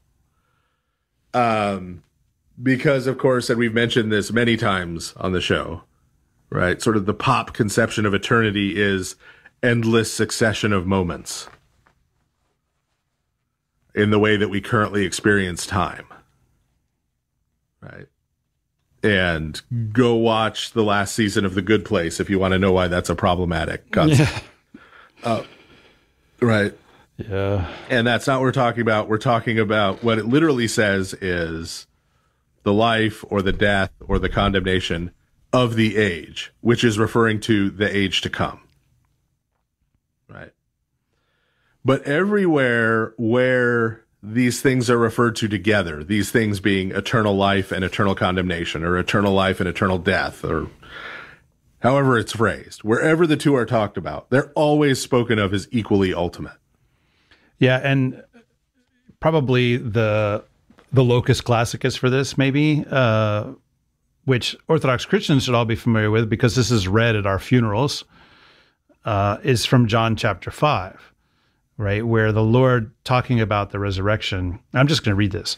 He says, Truly, truly, I say to you, an hour is coming and now and is now here, when the dead will hear the voice of the Son of God, and those who hear will live. For as the Father has life in himself, so he has granted the Son also to have life in himself, and he has given him authority to execute judgment because he is the Son of Man. Do not marvel at this, for an hour is coming when all who are in the tombs will hear his voice and come out, those who have done good to the resurrection of life, and those who have done evil to the resurrection of, and that gets translated variously, judgment, damnation, condemnation. Uh, but anyway, the point you're making, there's two outcomes. They are both through resurrection. One is life, and the other is this condemnation. Right. And there's no proviso on the second one. Yeah, it doesn't say, oh, well, one of these is temporary. Yeah. Yeah. And of course, Matthew 25, 46, again at the end of the parable of the sheep and the goats. Yep. These will go away into eternal punishment, but the righteous into eternal life. Again, perfectly parallel. Yeah. Again, from the mouth of the Lord himself. This is Jesus. The punishment of the age, the life of the age. So if you want to say that one of those ages has an end, then the other one must also? Right? Yeah. Um, it, you, when the same word is used in the same sentence twice, it becomes really hard to argue that it means two different things. Right. Um, without a lot of uh, further evidence to point to. Um, and and honestly, right, this is the place where we have to acknowledge again, this isn't really complicated. This is really simple. This is taught all through the scriptures. It's so plain and so simple, right? And yet our ability to uh, confound it is bizarre. And my favorite summary of it, this is where we are going to dip into the Old Testament because this is my favorite summary of it because it's so clear. Yeah. Is at the end of the book of Deuteronomy, the end of the Torah. Yeah. Right? Deuteronomy 30, verses 15 through 20. Yeah. So after God tells the whole story of creation and all, you know, gives all his commandments, everything, he says this See, I have set before you today life and good, death and evil. If you obey the commandments of the Lord your God that I command you today, by loving the Lord your God, by walking in his ways, and by keeping his commandments and his statutes and his rules, then you shall live and multiply, and the Lord your God will bless you in the land that you are entering to take possession of it. But if your heart turns away, and you will not hear, but are drawn away to worship other gods and serve them, I declare to you today that you shall surely perish. You shall not live long in the land that you are going over the Jordan to enter and possess. I call heaven and earth to witness against you today that I have set before you life and death, blessing and curse. Therefore, choose life, that you and your offspring may live, loving the Lord your God, obeying his voice, and holding fast to him. For he is your life and length of days, that you may dwell in the land that the Lord swore to your fathers, to Abraham, to Isaac, and to Jacob, to give them. What about people who object? Well, that was just for you know Israel at that particular moment in time. Well, see every place where Christ says not a Yod or tittle will pass away from the Yeah, from the law, etc., etc., etc. Or read the book of Hebrews yeah, where it talks about how the penalties of of the new covenant are much more severe than those of the old covenant. Um, not the opposite. Um, on and on. But again, this this is this is super clear. Right? Christ says, if you love me, keep my commandments. That sounds an awful lot like what God says here, right? If you love the Lord your God by walking in his ways and keeping his commandments and his statutes. Yeah. I, you know, A loving quick- the Lord your God, obeying his voice, holding fast to him, being faithful to him. like this is this is just so obvious and so clear. And it's a matter of choice. Yeah, Right. and and I should say, I mean, you can do just a quick search of the Bible and see how many times loving God and keeping His commandments are paired, and it's at least twenty five in those exact words, at least in the ESV. I'm sure we could, you know, come up with other ways of saying it, and it's and it's Old and New Testament. It's everywhere. If you love God, you keep His commandments. Yes. Yes, because again, love is not feelings. Love is actions. Yep. Love is actions. And, you know, the idea that love is feelings is what has brought about the divorce rate in this mm-hmm. country. Because guess what? Feelings come and go. All feelings of all kinds toward everyone. Yes. Right? And you either continue to act faithfully when the feelings are gone, just like you did when they were there and they were at their strongest, or you don't.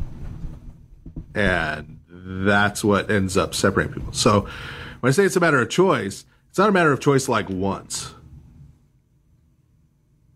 right? Where you just, oh yeah, no, yeah, I'll take the blessings in life. Thanks, God. right? Sign Oh, me up for blessings in life, please. yes. like, Cake or death. duh right? Like everyone's going to take that one right? But how do you do how do you make that choice? You don't make that choice intellectually. You don't make that choice on one day any more than you make the choice to be married to someone intellectually on one day. Right? That choice is a pattern that emerges over your behavior over a lifetime. About whether you're a faithful married person or not right about whether you're faithful to Christ or you're not, about whether you actually love the Lord your God or not. Right? It's a decision constituted by a thousand smaller decisions. Right? And so the person who refuses to repent, who refuses to worship God, who refuses to love God and his neighbor, the person who refuses to do that is making the choice to reject the offer of life that God has extended to that person. Yeah. And God does not force his love on people. I mean, this is awfully blunt, but God is not a rapist. Yep. Yep. Okay. He's not a kidnapper. He is not a human trafficker. That's not. He does not force his love on people. that's not love. Yes. Everybody. I mean, that is Because that wouldn't be love. yeah. Yes. Yeah. I mean, it seems For it to truly be love, someone has to be able to reject it. right. Right. Love sets the other person free. And so eternal condemnation becomes a possibility because of the love of God being actually love. Hmm. And because of his offer of life to everyone being sincere. That means it's possible for a person to reject it. And so eternal condemnation exists as this future possibility. This horrible possibility this terrifying possibility, the way it's described in the scriptures, Yeah. but a possibility nonetheless. All right. Well, that's the second half. There's one more half to go because, as you know, everybody, it's a show and a half. So we'll be right back after this brief break with the third half of The Lord of Spirits. Father Andrew Stephen Damick and Father Stephen DeYoung will be back in a moment to take your calls on the second half of The Lord of Spirits. Give them a call at 855 237 2346. That's 855 AF Radio. This is Andrew Williams. Since the advent of the internet, it has become increasingly obvious that our society suffers from a pornography problem. and Orthodox Christians are no exception. While many practical resources are available to help those who struggle with pornography use, these fail to address the problem at its deeper spiritual root and to acknowledge how it affects our whole society. My new book, From Object to Icon The Struggle for Spiritual Vision in a Pornographic World, shows how all of us can change the way we see, how we can learn to see iconographically rather than pornographically. Whether or not we struggle with pornography use, this book shows us how to stop objectifying others and instead see the spiritual reality in everyone we encounter. From Object to Icon is now available at store.ancientfaith.com. That's store.ancientfaith.com. We're back now with the Lord of Spirits, with Father Andrew Stephen Damick and Father Stephen DeYoung. If you have a question, call now at 855 237 2346. That's 855 AF Radio.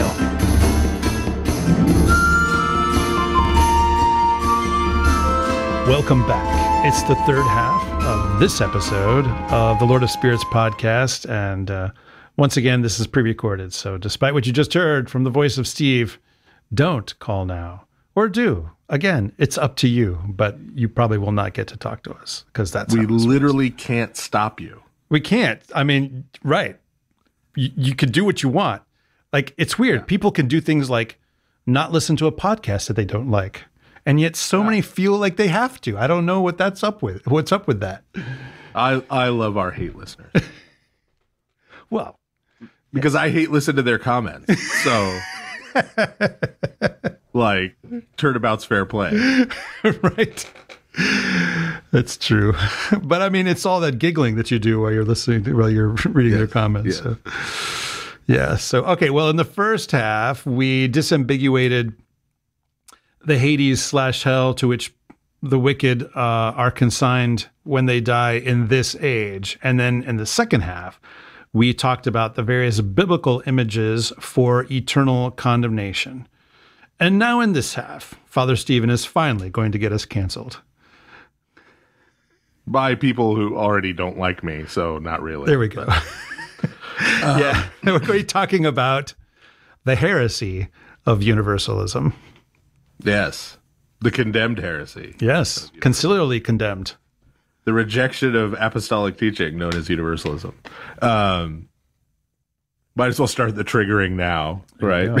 so, like if if you really can't handle sustained sustained critique of universalism, if you're if you are a person who is a universalist for some kind of emotional reasons, right? Or reasons of sensitivity or something. And you don't want to subject yourself to hearing a sustained critique of it, you should probably not listen to the rest of this podcast. Yeah, and and I mean that said, like I know, I, I know that some people are universalists because they kind of can't bear the idea uh, of, of of eternal condemnation, and in some cases, uh, people are universalists because maybe someone they love killed themselves, cursing God or something like that, and they're like, well. I don't want that person to be eternally condemned. How can that possibly be? I love them so much, you know. Um, which I, I mean, I get that. Like, I get that. I get why people would feel that way.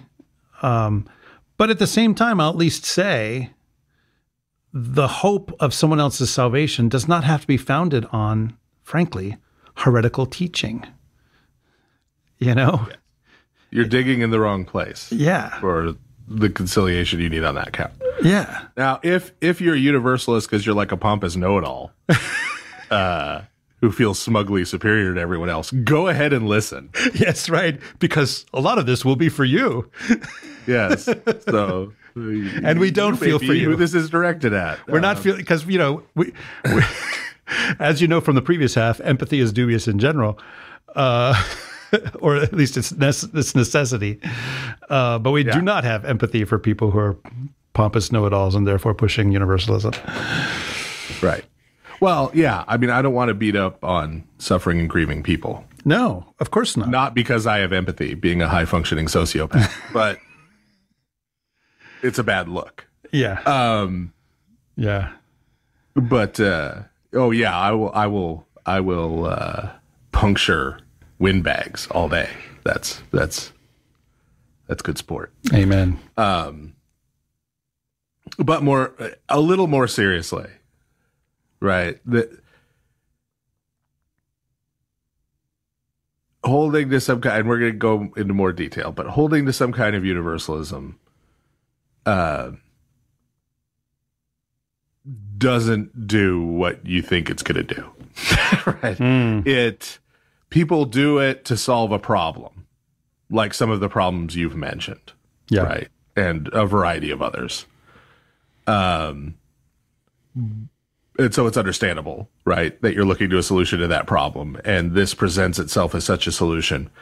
But it has follow-on consequences in your view of god in your view of sin in your view of repentance. Yeah.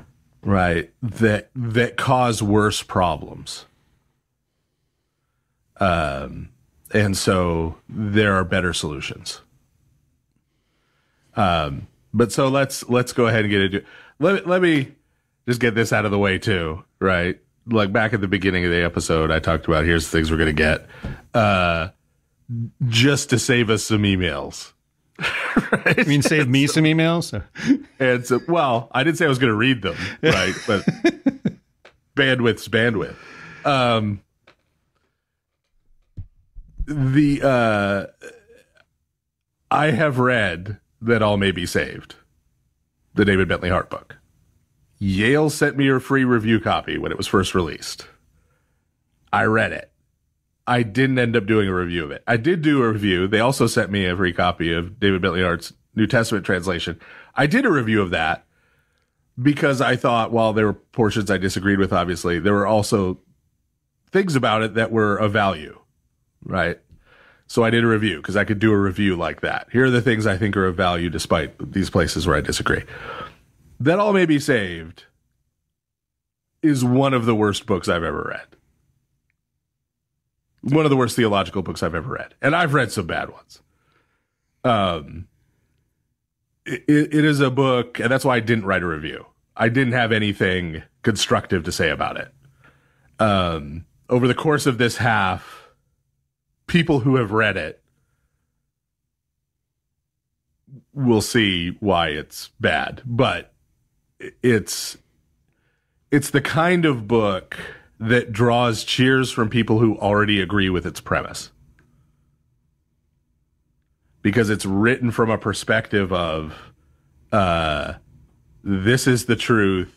I'm going to primarily establish that truth by ridiculing people who disagree with it and uh, knocking down straw men of an opposition position.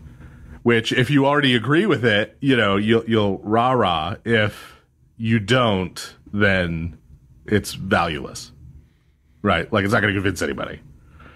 Um, but so yeah, so s- save your email saying, "Oh, have you read you know this book? Uh, its argument is irrefutable." Uh, just save it. Read it. Not only is it not irrefutable, it's laughable. Okay. But now, getting into the topic at hand, qua topic, Okay. right? so, um, what we're talking about when we're talking about universalism is not like the Unitarian Universalists. That's a whole separate, right? Yes. We're not spending use. a half of an episode like bashing on them, right? Um, doesn't take that long, frankly. Um, but we're talking about people who believe, some of whom are within the Orthodox Church to one degree or another, um, and who believe in some form of apokatastasis, some form of universal reconciliation to God at minimum, this means the idea that all humans will inevitably be reconciled to God in the age to come. Yeah. There's there's various ways people get to that, but Right. but yes, that's where it ends. Yes. But so that's defining the term universalism as we're using it, right? That's the minimal. And sometimes it goes beyond that, right? So there are forms of apokatastasis where it's even the devil, the demons are all going to be reconciled to God. Yeah. Right. Um, going way further. But minimally, it's the belief that all humans will receive eternal life in the age to come, inevitably and eventually. Right. Um, and then there's various forms it takes, right, beneath that. Um, the most infamous, uh, despite recent attempts at rehabilitation, the most infamous uh, proponent of this kind of view, who took it to the extreme point, was, uh, of course, Origen. Um, I have what is apparently news for some folks. Uh, Origen, specifically on the point of apokatastasis, was condemned at the Fifth Ecumenical Council. What? what? And I say this not because I have taken a TARDIS to 553 AD and walked into said council with a GoPro. This is the second episode in a row that you've mentioned GoPros, by the way. GoPros. Yes. Yes. Well, I feel like it's more specific than video camera, and who knows, sponsorship deal. Um, so, right, and I don't have to. right. In fact, if I did that, and I brought back the video, and we watched the video with people fluent in Greek. And everyone agreed, you know what? They didn't even mention Origen. Not once in the whole video. It would still be a fact that the Fifth Ecumenical Council condemned Origen on apokatastasis. Right. Because Because that's not how holy tradition in the Orthodox Church works. yeah, it it you know, it is it is demonstrably easily the easily to show that the church for century upon century upon century has not only repeated uh, what it says about the ecumenical councils, it has enshrined them in hymnography for I don't know exactly how long, but it's centuries at the very least, probably well over a thousand years, right? Right. Um, so you know there are some people, and now, now for those of you who might be new to this uh, this discourse, there are some people who say that the council did not condemn Origen, or that it only said certain kinds of things and not others, or whatever. You know, there's all kinds of variations on this, and that later uh, Saint Justinian uh, altered it. Right, he he pulled a fast one on everybody, and it's been a big mistake for all these 1600 years. It's a big mistake, right? That there are people who say that, but that is not how Orthodox tradition works.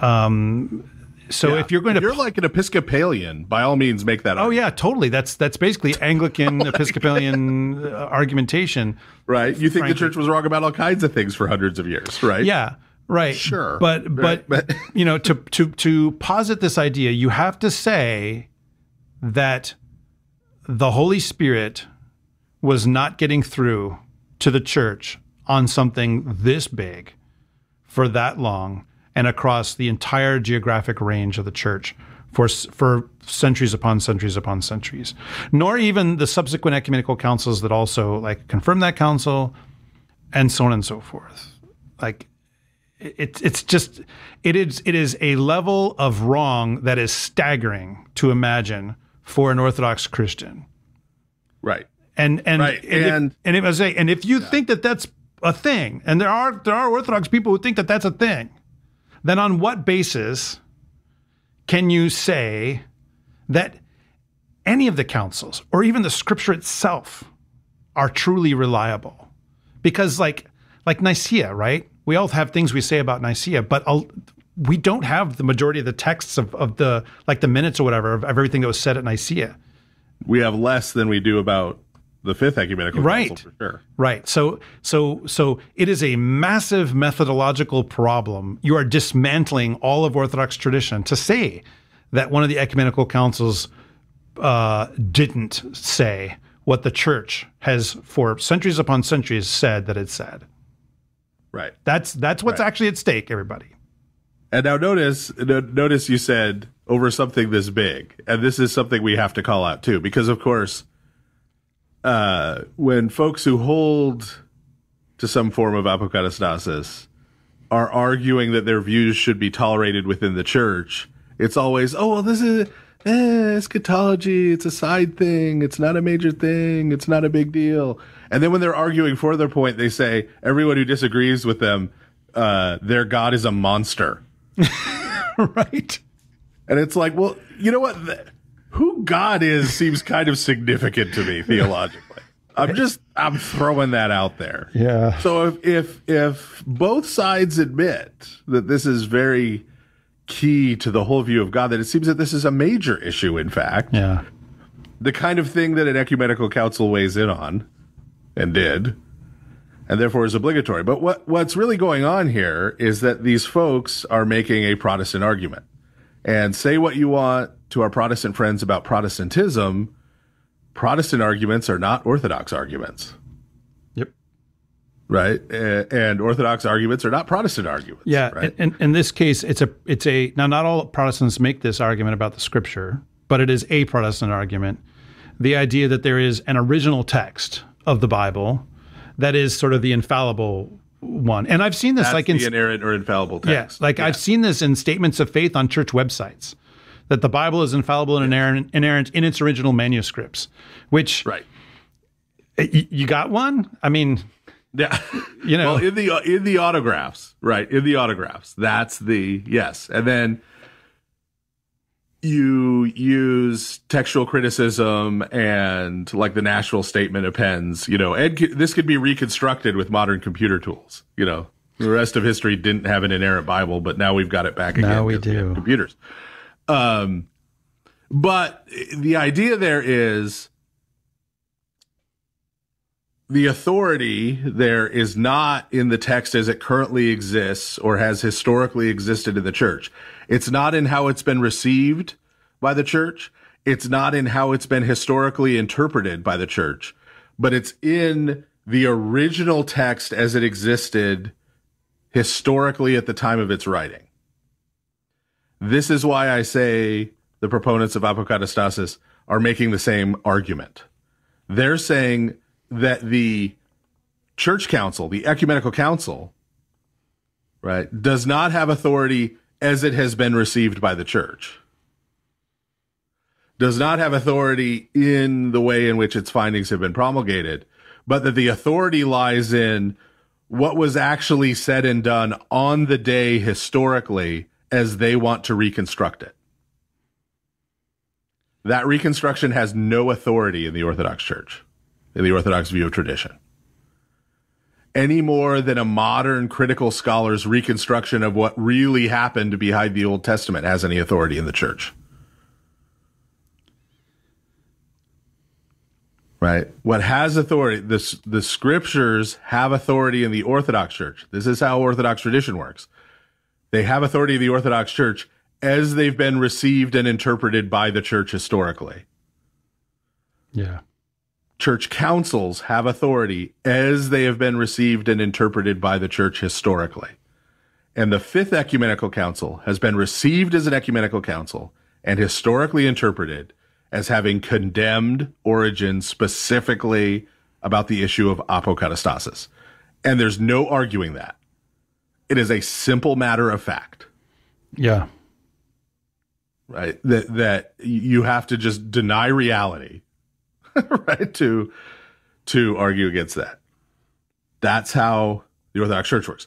Now, if to our non-Orthodox listeners, you may say, "Well, I disagree with that." I say, "Okay, right?"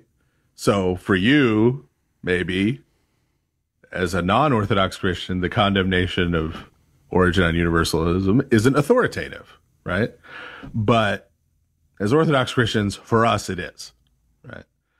Um, but it's also worth noting, right? And this is one of the problems, even accepting the problem with their argument in the first place, like the structure of their argument that we've just pointed out, right?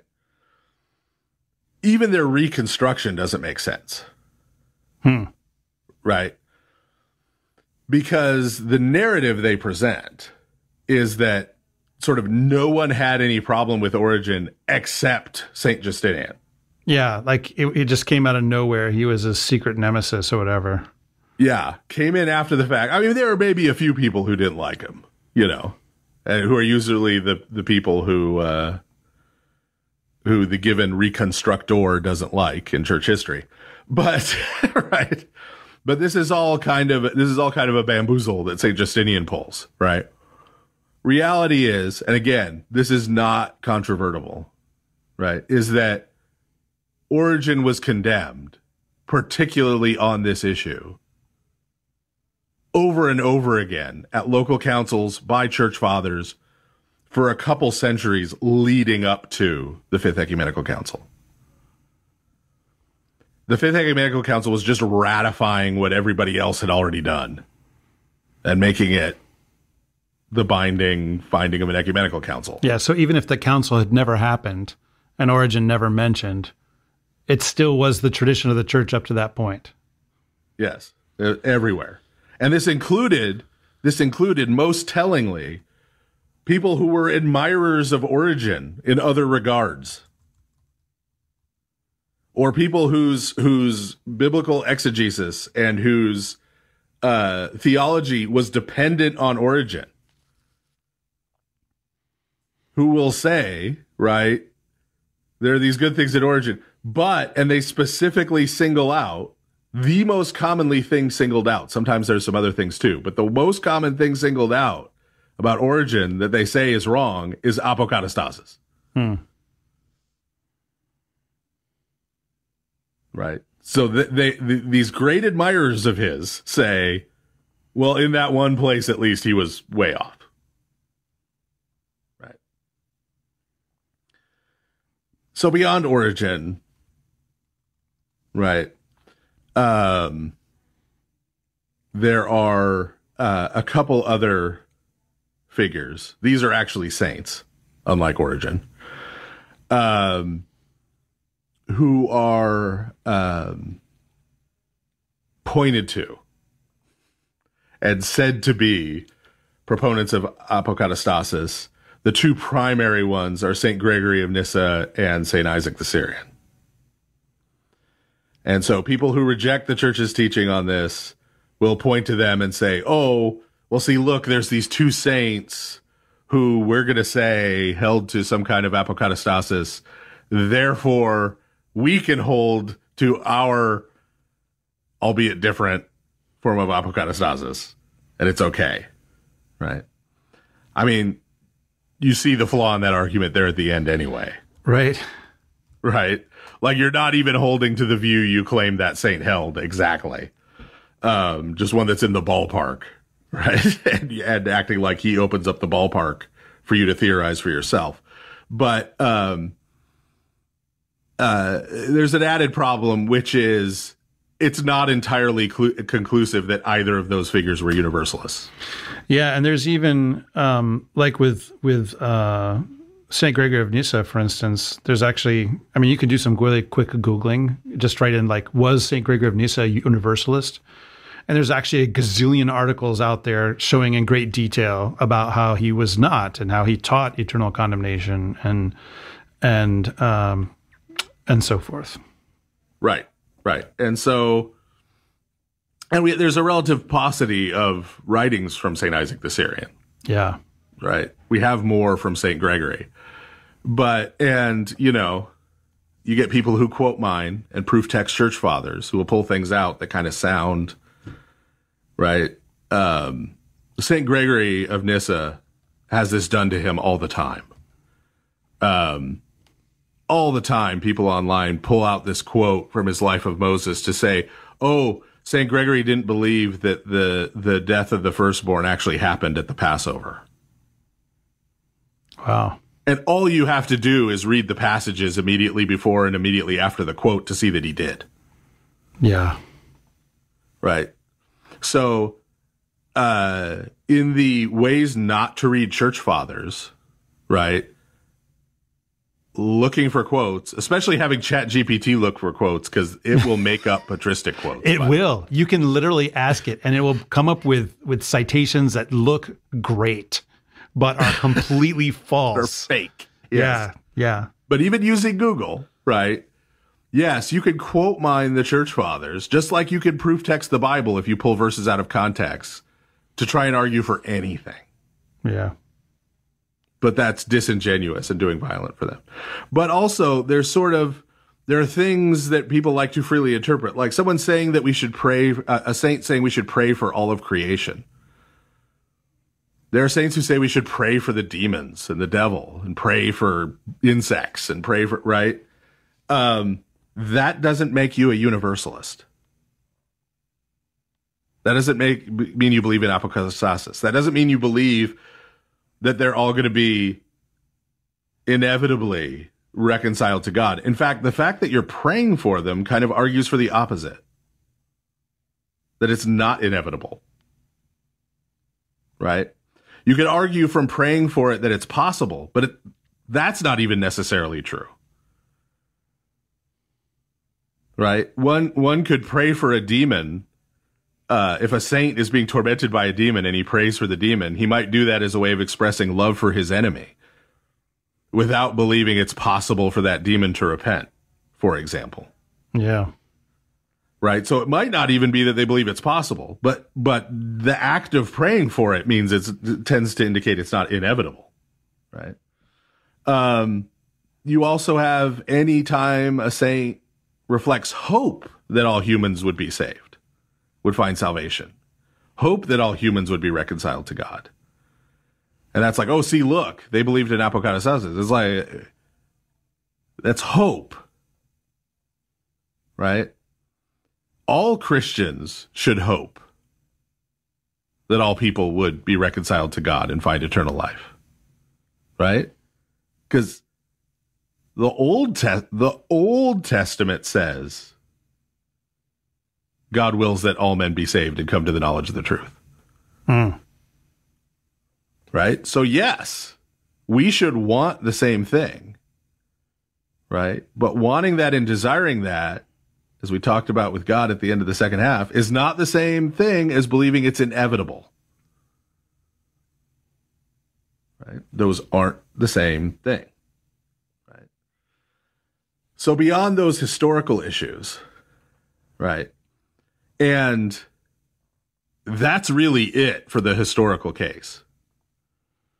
The whole historical case is trying in vain to undo the condemnation of Origen and trying desperately to identify a couple of church fathers who might have held a minority opinion on this. Right? That's the historical case for somebody believing in some kind of apokatastasis everyone agrees that all of the rest of the fathers, the reception history of the Fifth Ecumenical Council, all condemn apokatastasis.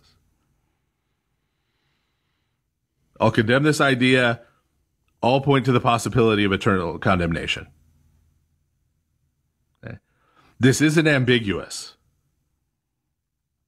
There is no ambiguity here in reality other than people trying to create it. Okay.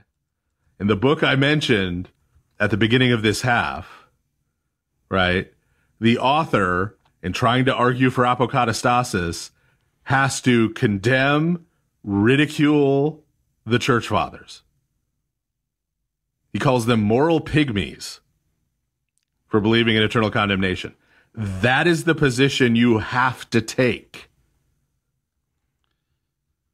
to argue for apokatastasis. Yeah. That's not him going too far. That's the position you have to take. You have to reject the church fathers and the saints as not knowing what they're talking about morally, theologically, and religiously in order to hold this view.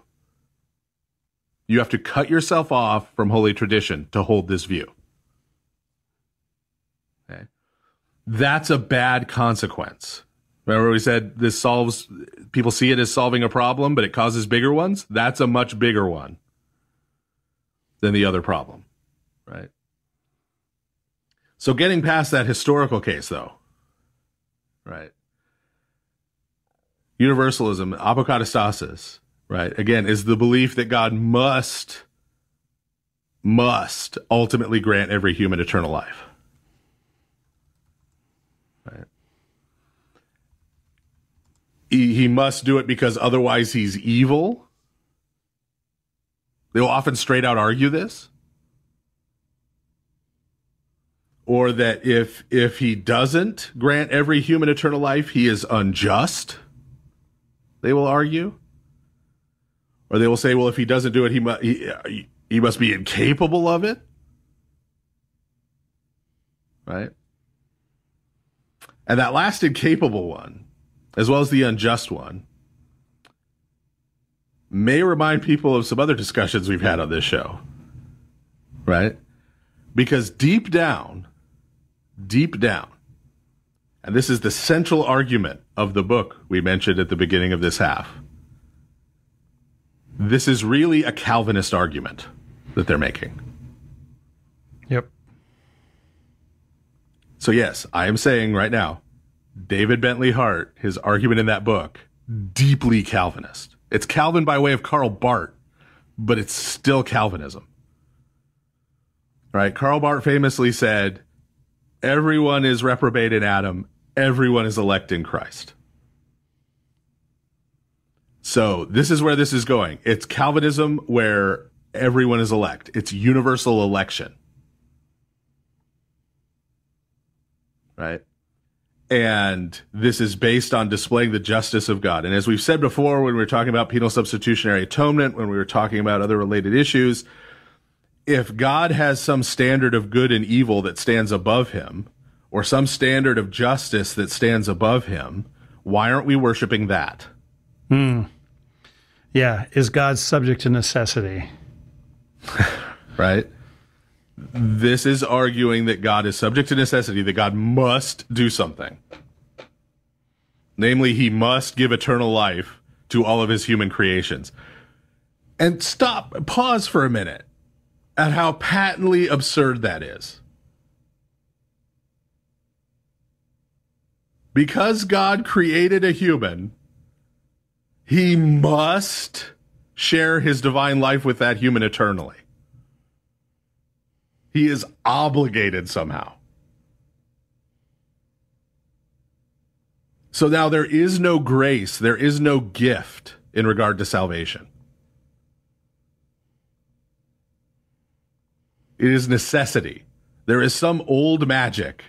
There is some kind to which God is beholden, right? This is absurd. Right? This is absurd. And you can make sophistic arguments for it. Right? You make sophistic arguments for it, but it's absurd on the face if you really think about it from the perspective of biblical theology. I don't want I'm not going to digress too far into this, but it has to be said. Okay. It does have to be said. Get ready for a spicy take. Do you think it's been spicy so far? Oh, um, so there is a there is a dirty secret in liberal theology. Uh, it's a dirty secret now. It used to be open, right? But since the end of World War II, it's been a dirty secret. Okay. Um, all all um liberal liberal theology is at least vaguely Marcionite, if not outright. Yeah. I mean, they don't tend to like the Old Testament. Right. Old Testament God, New Testament God. David Bentley Hart is exhibit A of this. Uh, again, book mentioned at the beginning of this. Read what it says about the God of the Old Testament, calling him a monster, calling him the devil. Okay. When it was pointed out to him, it was pointed out to Hart that this made him a Marcionite. His defense was he doesn't believe the Old Testament God exists, so he's not a Marcionite. Wow. Okay. What? Yes. Okay. Well, where's he getting this? Where is this wild thing? Well, he's beholden to a theological tradition that runs through 18th and 19th century Germany, up into the 20th century with guys like Jürgen Moltmann, right? He's dependent on this. It is deeply anti Semitic. I know, shocking, 19th century Germans are deeply anti Semitic, but, right? It is based on the idea that the God of the Jews, the God of the Hebrew Bible, the God of the Old Testament, right, is a uh, a false God, a pagan God, a deficient God, right, and not the real God, right. And what that requires, right, if you throw out the Old Testament and then want to reinterpret the New Testament, right? You can't carry over any of those Hebraic notions of who God is into the New Testament. So, who is God in liberal theology if we're not going to use the God of the Old Testament? Who is the God in the New Testament? It's Plato's God. It's the God of Greek philosophy. Because the Greek tradition is a European tradition and not Jewish. And if you read the book we're talking about, okay, David Bentley Hart's argument in that book is deeply anti Semitic and is seeking to replace the God of the Old Testament in Christian theology with Plato's God.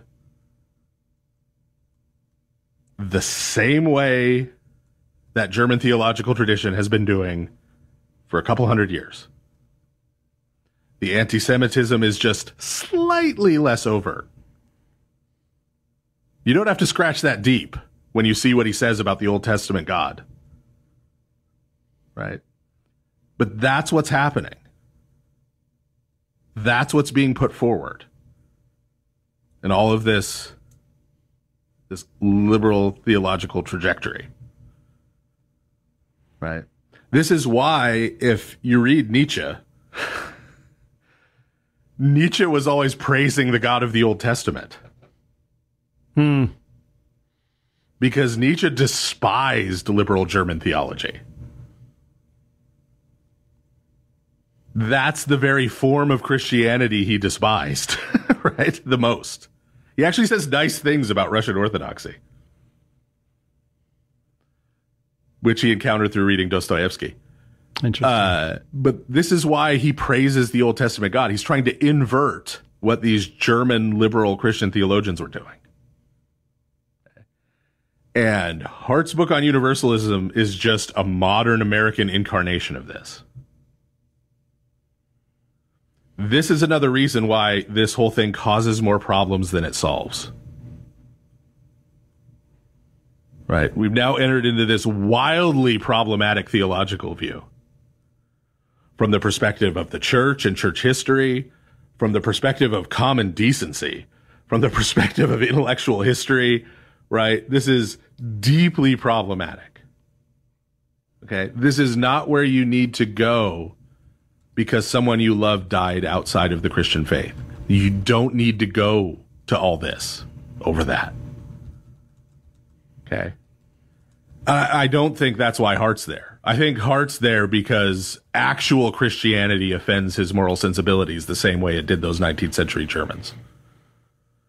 It's too gauche for him, right? It's too vulgar, too common, right?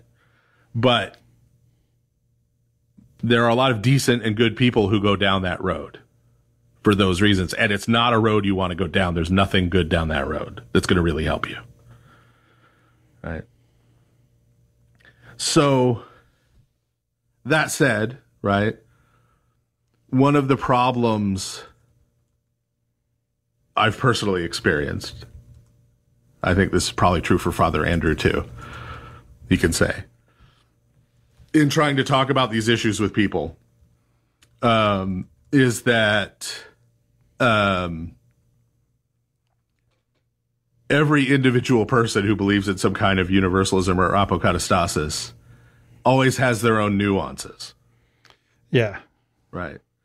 So I say something critical of Hart in his book. For example, they say, "Well, I don't agree with him about everything. You know, I, uh, you know, th- this and that is different, and this and the other, right?"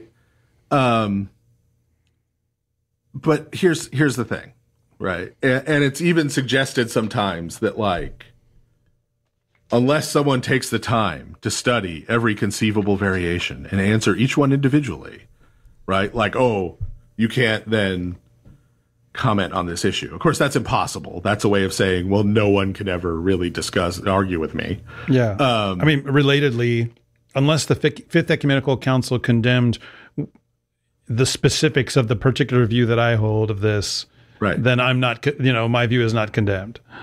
Right. Right. And that's that that's obviously not true. Right? Like the the Council of Nicaea and the Council of Constantinople did not have to like conceive of every possible minute variant of Arianism and semi-Arianism to condemn Arianism and semi-Arianism. Right? They condemned any view which says, right, that that the son is different in substance from the father. Boom, done. Right? And so the council condemning the view that all will inevitably be reconciled to God by some necessity means any view that has that feature, regardless of all the other particulars, if it has that feature, it's condemned. Yeah. Right. And part of this too plays into this idea that people have received. And I think it's due to this idea of theologoumena, which most people who talk about it don't understand. Uh, the Orthodox Church. Theologoumena is basically like the idea of pious opinion, right? Something that's not like a teaching of the church from which you can't w- w- that you can't disagree with, and things that are secondary or tertiary or right or uh, related in other ways. So they've come to this idea that they're sort of on various issues of theology or various topics of doctrine or various things about the way of life within orthodoxy that there's like a range of acceptable orthodox views and as long as your view is somewhere in that range, then you're okay. Like you're allowed to believe it. Uh, people will phrase it that way.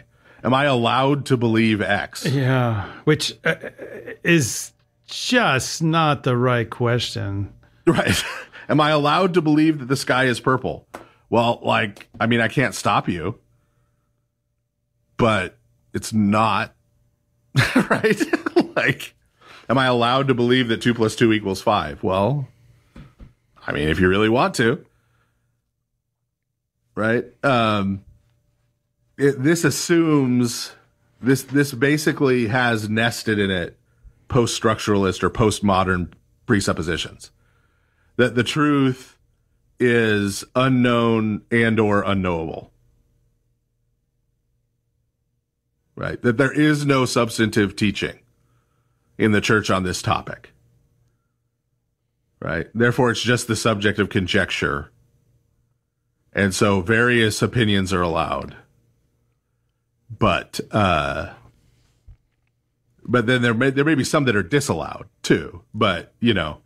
And so there are things i want to believe are true and i just need to find out if it's okay Yeah.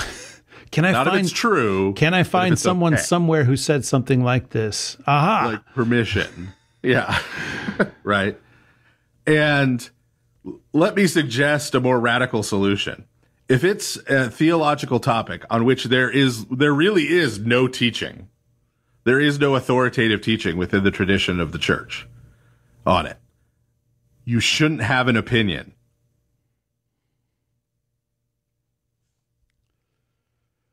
Yeah. Right? Like just don't have one. But yeah, because because because everything that is given to us, I'll probably say more about this at the end, I think, but I just want to say it here. Everything that is given to us in the church is for the sake of our salvation, not for the sake of having an opinion about everything. Yes. This is why, and I know it confounds some people. This is why there are things I'm not interested in talking about. I'm not interested in talking about the date of the Exodus.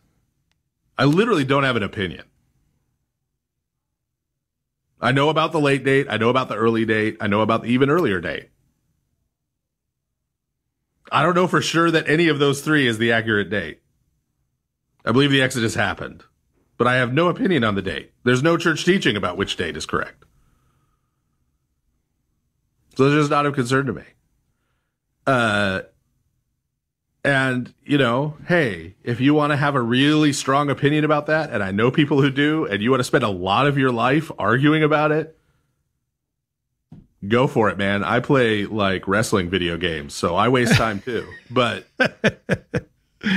like you know, that it's the same level of usefulness in terms of salvation right? Me playing online matches of Mortal Kombat and you having online arguments about the date of the Exodus are of equivalent value, right? And if you accept that, fine, that's your hobby, great. Um, so, but but this issue is an important issue, and this issue there is very clear church teaching on, and so it behooves us to accept it, especially if we don't like it. right? Everybody believes in authority until authority tells you to believe or do something you don't wanna. Yeah. right. That's Everybody believes in the tradition of the Orthodox Church until it says something they don't like. Yeah, I mean, obedience requires almost requires that there be a difference of opinion. You know, and that one person's opinion is going to be the determining opinion. Um, yeah Although in this case, it's not about personal opinions, it's about the teaching of the church. Right. Which is objective and accessible, not unknown and or unknowable. Yeah, you should um, you should not have to dig. Yeah. You should not have to dig, right? To find Well, there's this thing right in my face, but I don't like it, so I'm going to dig. I'm going to try and yeah. find some way under it, around it, right? Yeah.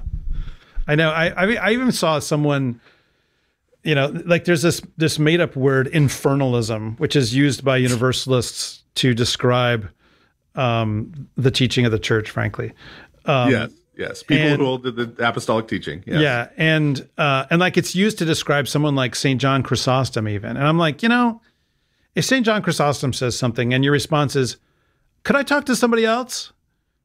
Yeah. I, I it's hard for me to believe that you're Orthodox. Like you can't yeah. get more mainstream than him. Second second opinion, please. Yeah.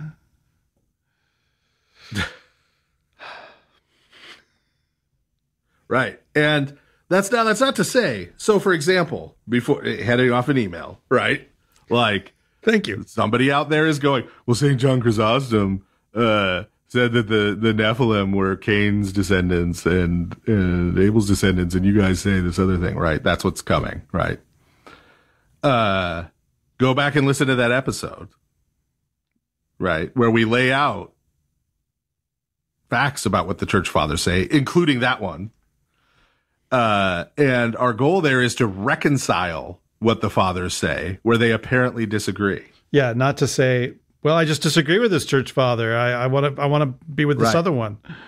And if you do that on this issue, right? So, for example, you go to St. Gregory of Nyssa and you read something, and you say, well, that almost sounds like apokatastasis. Then, using this approach, you would say, but all of the church fathers teach against that. So that can't be what St. Gregory means. Which, I, if I recall correctly, is basically what St. Photius says at one point. Like someone's, like, yeah, I, I might be misremembering, but he said, I think he said, Uh, well, some say that he taught apokatastasis, but that is a scandalous, you know, slur against him. He would never have said such a thing. You know. Yeah. Yeah. So if you use that approach on this issue, right, you don't end up saying, well, I could kind of read these two people to agree with me, therefore I reject everyone else. Um, that's never our approach on anything on this show. Sorry. Yeah. And it's So- not, it's not orthodox. It's just it's just not. Yeah. So that's kind of the the if there is a positive argument, right, made for apokatastasis, it is that kind of positive argument from some kind of divine necessity. And we've just gone through how problematic that is. Most of what you get though is not that even. Right? The more sophisticated form like Hart's book, you get that at least. Right? problematic as it is, you at least get that as a positive argument. But most of what you get, including in that book, are a bunch of negative arguments directed at particulars of a Western view of hell. Um, which, uh, is also kind of problematic, right? Uh, if most of your arguments for your position are just a bunch of negative arguments against a particular other position, you don't have any strong arguments for your position. Right? It's not even negative arguments against all of the other possible positions. It's just one of them. Um, and making these arguments even weaker is the fact that they are arguments against that particular Western view, which is kind of a caricature uh, that are that accept the presuppositions of that very view. Don't question those presuppositions. So they're not even like strong undermining arguments to that view. Um, what what do I mean by that? Well, so for example, when they attack this Western view of hell, they presume a certain definition of what sin is. Yeah. The, the person who believes in apokatastasis accepts the presupposition that sin is the violation of a statute. Yeah, it's it's breaking a rule. Right. And that breaking that rule requires punishment. Right. And it even accepts the presupposition that God must punish every sin. Right. Here we have divine necessity again, must. Right. So where's the quibble? Sounds like you've accepted almost the whole farm. The quibble is then, oh, but punishment must be proportional to the offense. So it says to that we- that particular Western view, we agree with you that sin is breaking a rule and it makes God angry and God has to punish sinners. And we agree with you that God must punish every sin to its full extent. We just disagree about the extent. Right?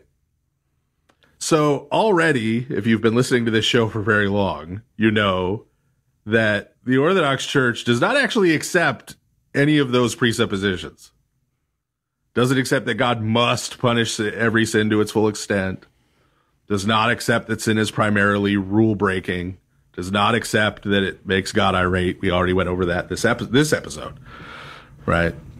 Um, but they then argue that so eternal punishment, punishment that goes on forever, is disproportionate to sins that are committed in time in this life.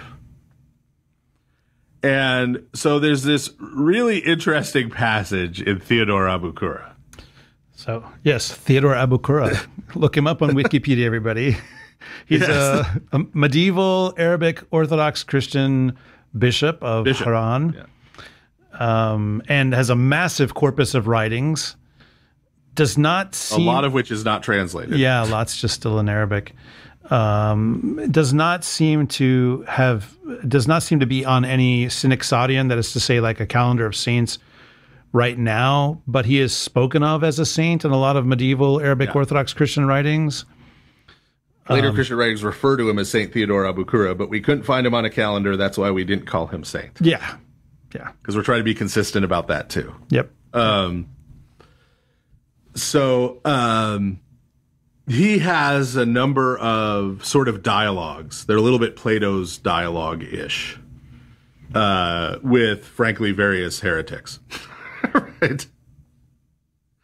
And one of those is with an Origenist.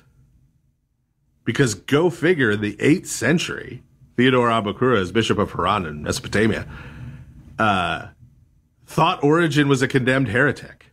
Go figure. Um, and their discuss the discussion with the Origenist is specifically about apokatastasis. So he not only thinks that Origen is a condemned heretic, he thinks he's condemned on this point. Um, and uh, this is that sarcasm they're going to point out that I mentioned earlier. Um, and he basically so when the when the Origenist makes this very argument, right? Says, well, what you're talking about is an eternal punishment for for sins that were committed in time, and that's unjust right? This whole justice thing where God has live up to justice. Because guess what? Like we said, they're basing this on Plato's view of God.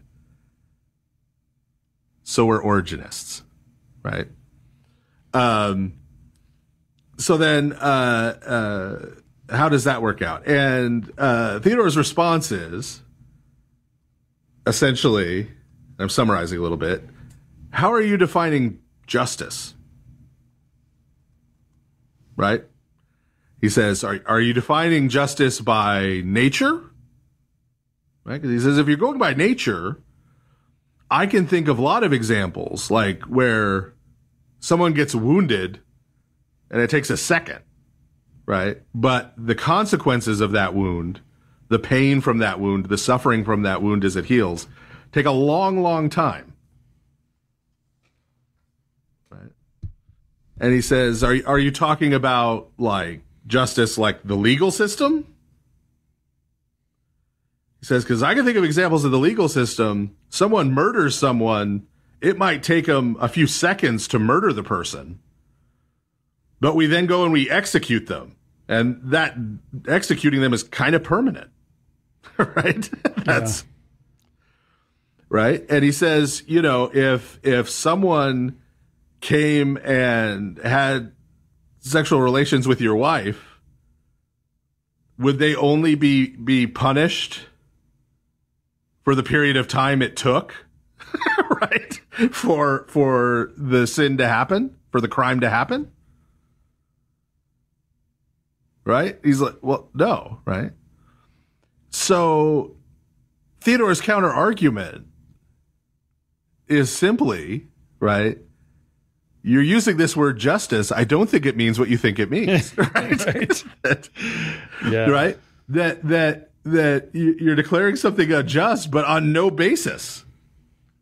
Yeah, it's it's notable by Other the than way your own predilection. I, I was right? going to say it's notable by the way that Theodore Abu Qurrah uh, was also a monk at uh, Mar Saba Monastery, where um, Saint John of Damascus was, and in many ways is kind of like his intellectual successor. But he's really the the first church father writing in Arabic, uh, which yeah. is pretty interesting all on its own. Um, you know, living in early Islam and so forth. But yeah, yeah, a lot of his writings are interacting with Islam. Yeah, I like I like the way that he reasons, the way you just described, like because it's about like, well, let's get this down to brass tacks and stop, you know, up here in the the rarefied ephemeral world of you know concepts that are, interact with each other and down to like okay what is actually justice on the ground? How does this look?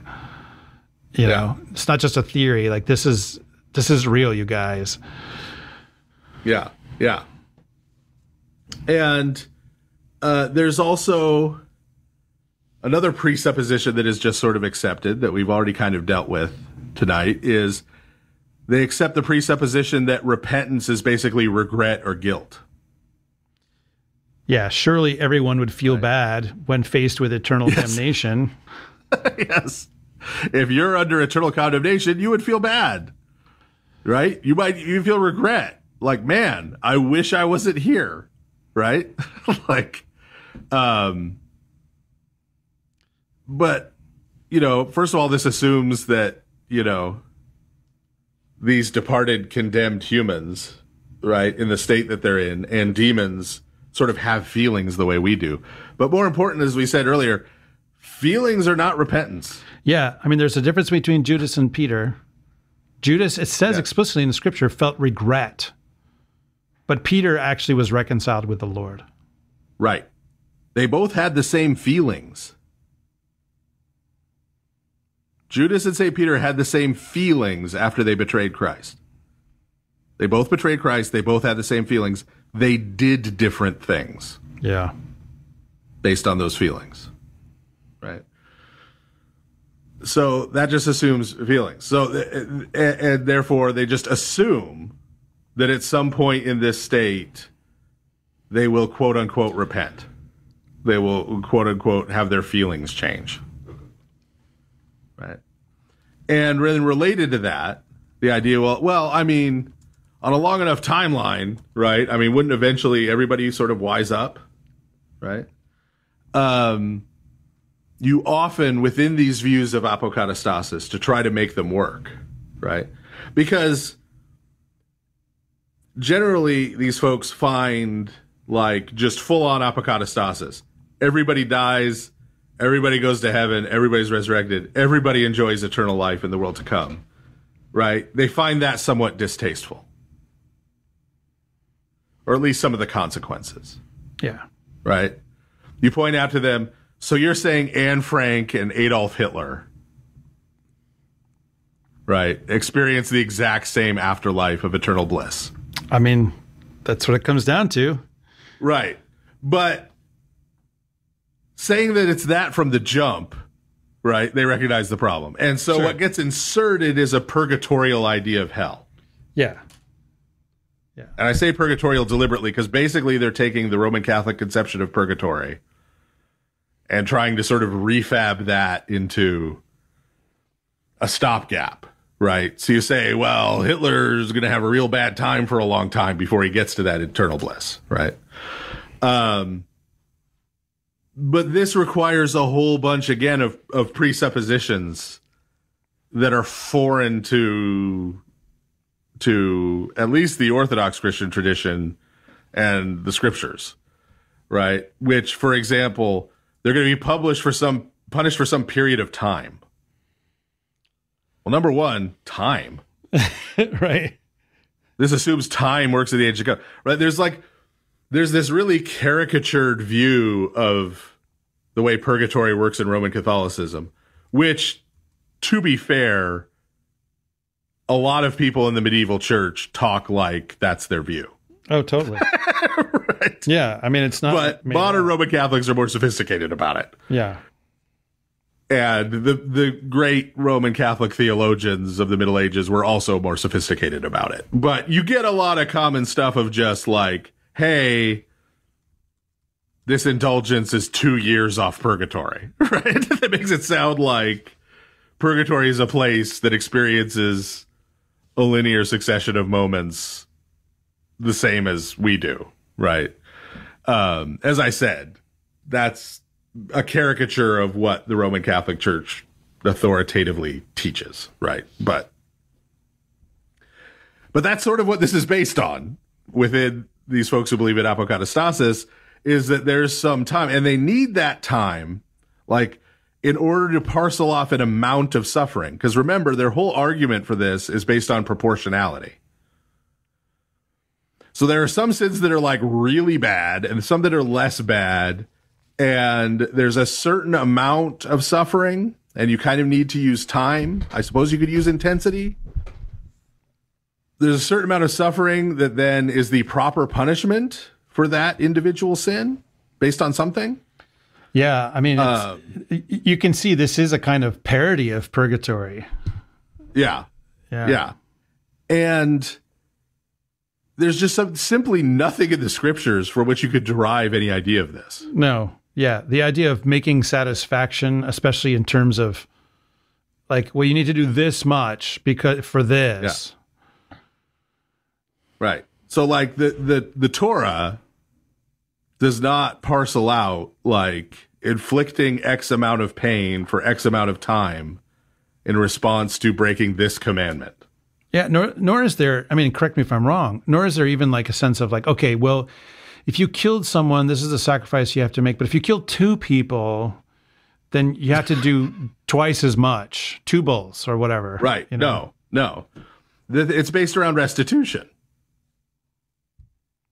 Right? It's all based around restitution, restoring, right? The way we talked about repentance, right? Making it right, fixing it, repairing the damage, which, right? Like, no amount of inflicting pain on Hitler, like,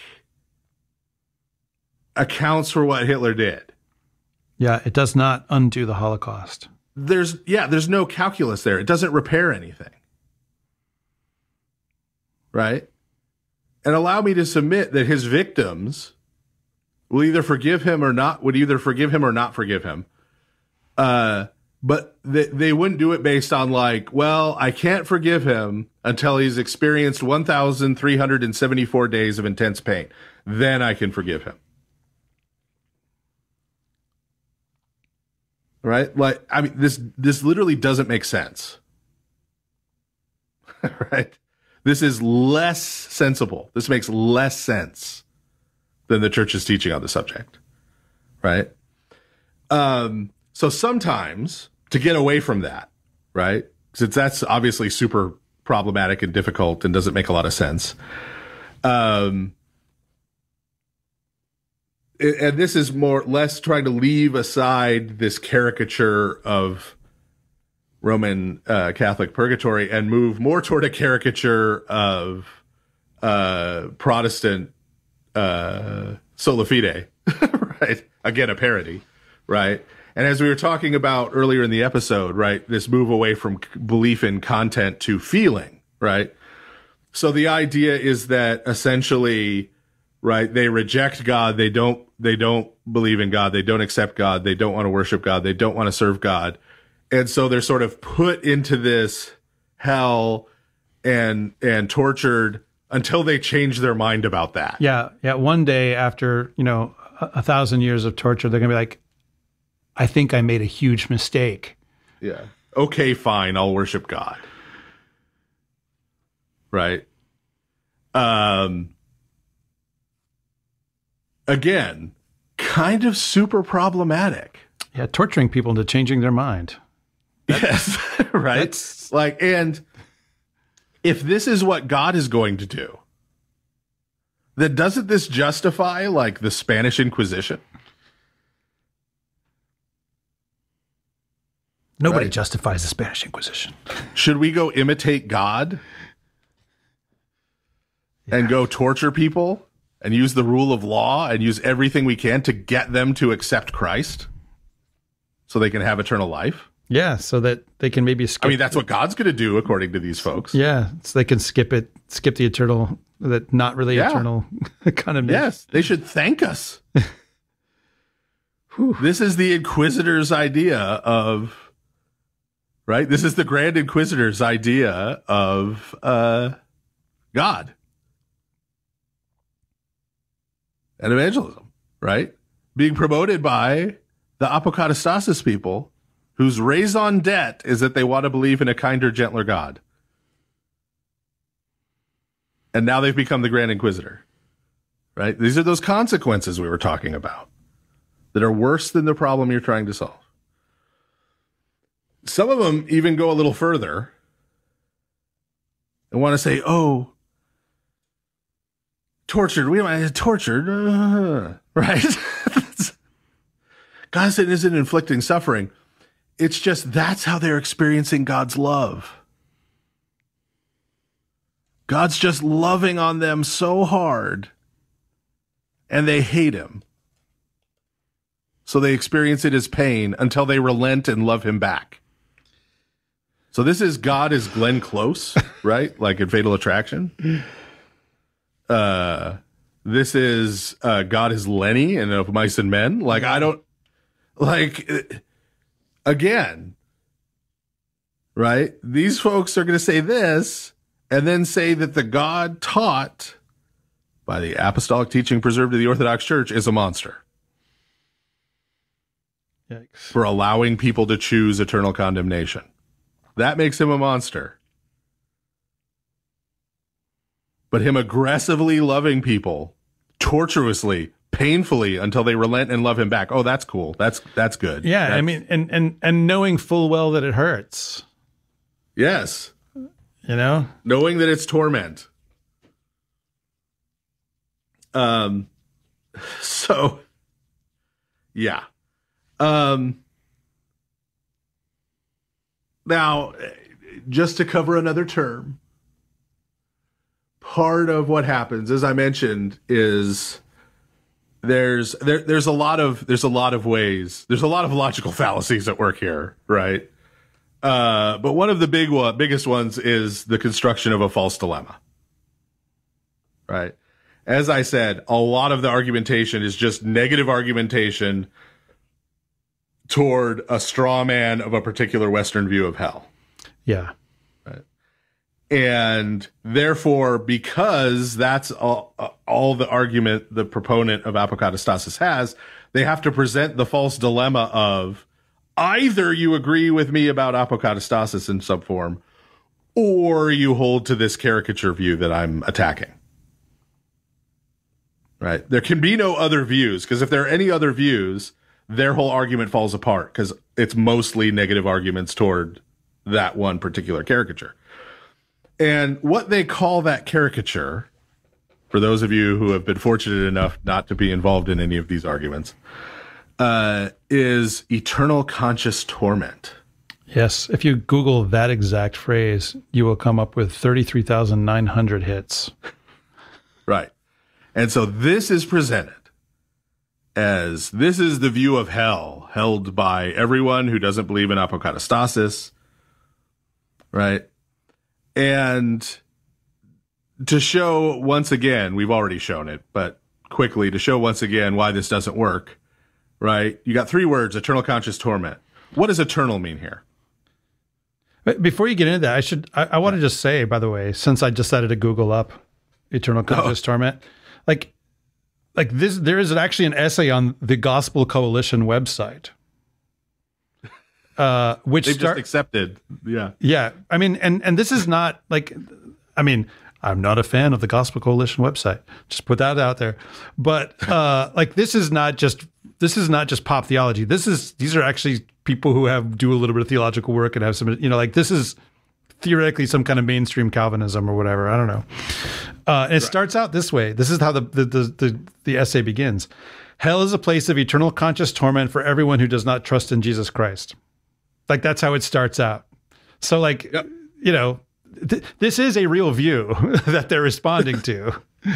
You know? Well, yeah, they tend to respond to caricatures of it, but also uh, never underestimate the uh, ability of a Calvinist to wholeheartedly believe in a caricature of his own position. oh oh sure, um, absolutely. That is that is a Calvinist strat- argument strategy. I've heard this many times, right? I have I literally I know Calvinist professors with PhDs and theologians who if you try to say, well, that makes God the author of evil, they just say, yeah, so. right. right? Yeah. Or if you say, well, that makes human beings just robots, they say, like, yeah, so, Right. Exactly. right? So I have a feeling that's coming from an, okay, sure, eternal conscious torment. Um, but from the perspective of, right, the Orthodox view that we've been talking about has nothing to do with this. What does eternal mean here? Does it mean like an unending series of moments in the sense that we experience time now? Right? Like, how does time work in the age to come? Yeah. I mean, we have lots of reasons to believe that that's not the way it works.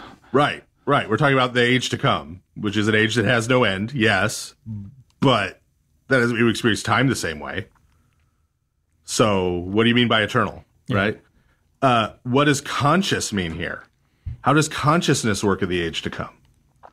Yeah, and and what about the whole weeping and gnashing thing? Again, the the, the madness. So, like, what kind of consciousness madness. is that? The loss of humanity. Yeah. Yeah. What does that mean in terms of consciousness? Uh, what does torment mean here?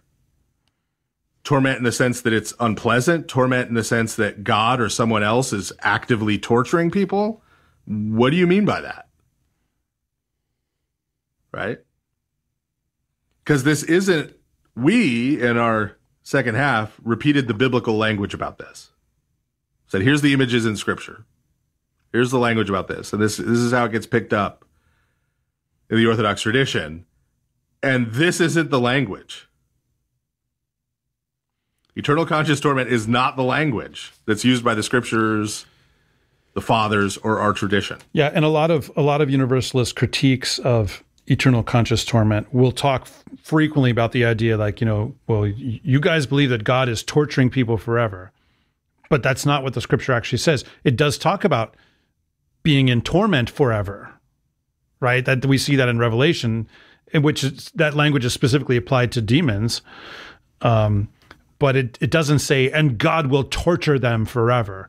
The only way you can dr- connect those dots is again using a Calvinist God, where where literally everything that happens, God has willed that thing to happen.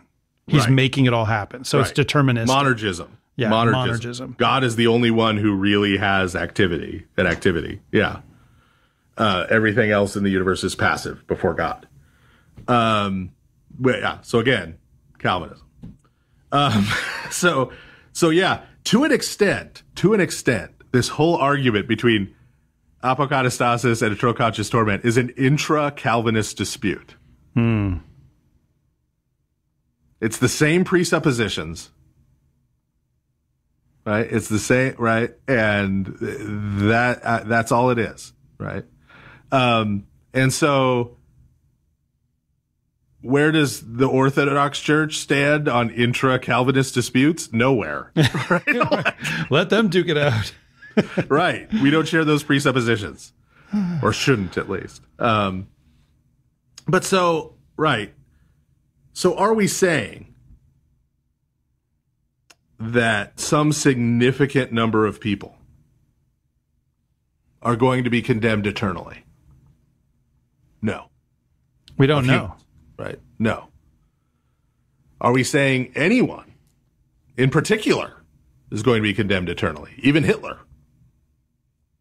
No. Yeah, I think I think you might be able to make a decent argument for Judas. Uh, as I recall, some Well, the Bible says Judas is- went to Hades, but even that, see, we disambiguated that. there you go. Yeah, yeah. That's right. So we don't we, we don't know, and the fact that we don't know means it could be zero.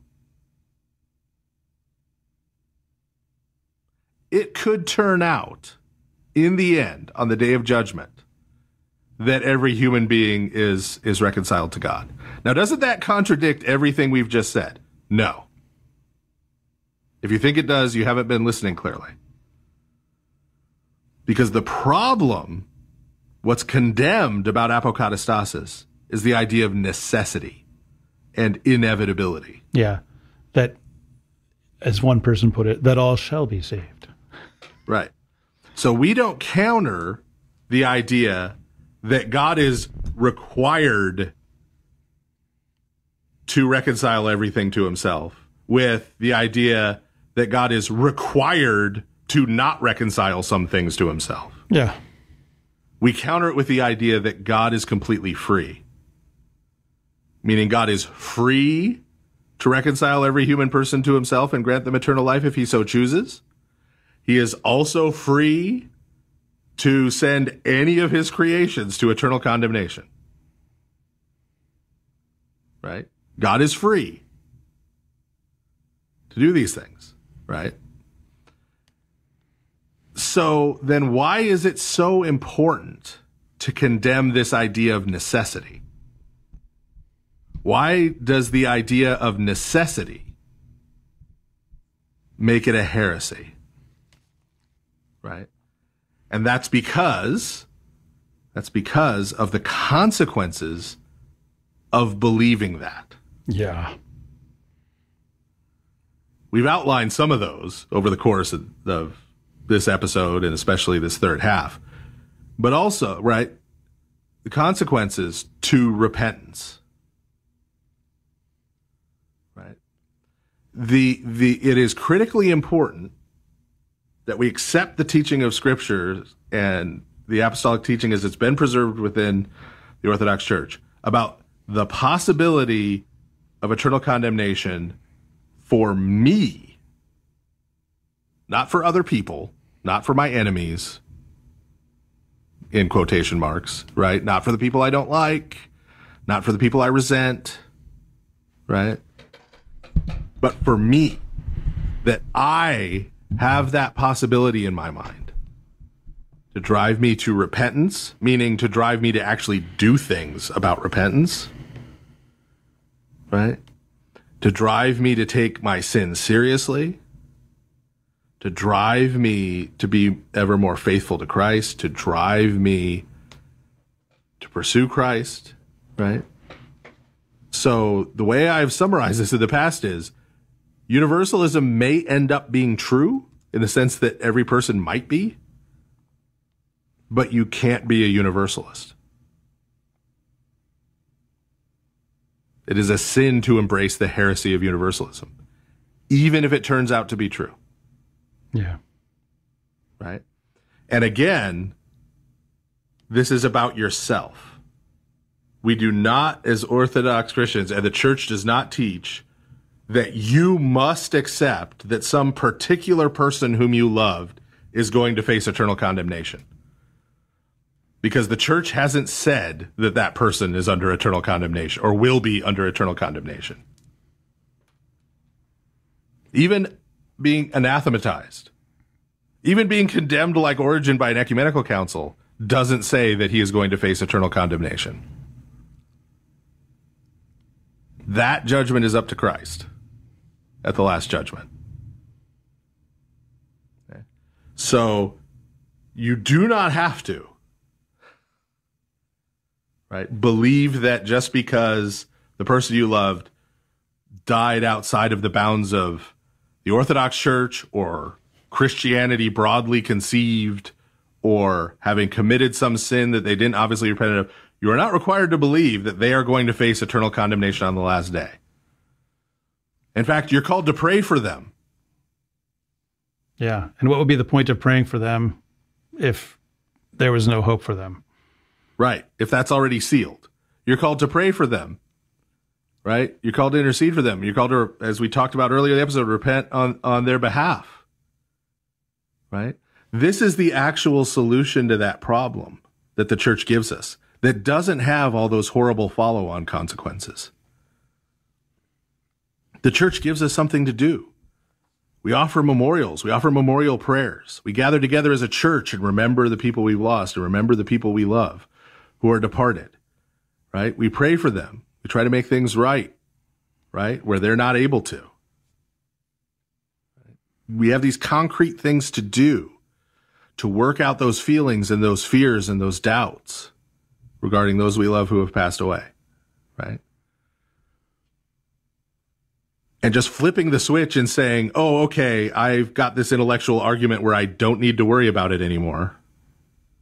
You know, assurance of other people's salvation that comes through apokatastasis, right? Like crosses those wires, short circuits the whole thing. Because now I don't need to do any of those things. Right. So, in this area, accept the recourse that the church has given you, the fix and the healing method that the church has given you, rather than rejecting the church's teaching and going after apokatastasis.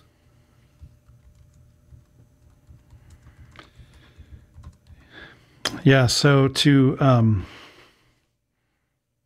to summarize, I mean, there's a lot of things, a lot of thoughts running around my head. Um, you know, I at this point in my life, I've been an Orthodox Christian for twenty, a little over twenty five years, and um, but I remember immediately before I um, learned about the Orthodox faith and uh, and became Orthodox, um, that I began to have a lot of questions about the faith in which I was raised, and it was not because I encountered arguments against it. Right, I didn't meet some apologists telling me that evangelical Protestantism was was wrong. Um, it actually came out of the internal theology of that movement. Um, certainly, we were not universalists, right? But um, we definitely believed in what is called eternal security, which is another variation on a lot of these these things, uh, which is sometimes summarized as once saved, always saved. It's a kind of, you know, truncated version of one of those points on the Calvinist tulip, perseverance of the saints.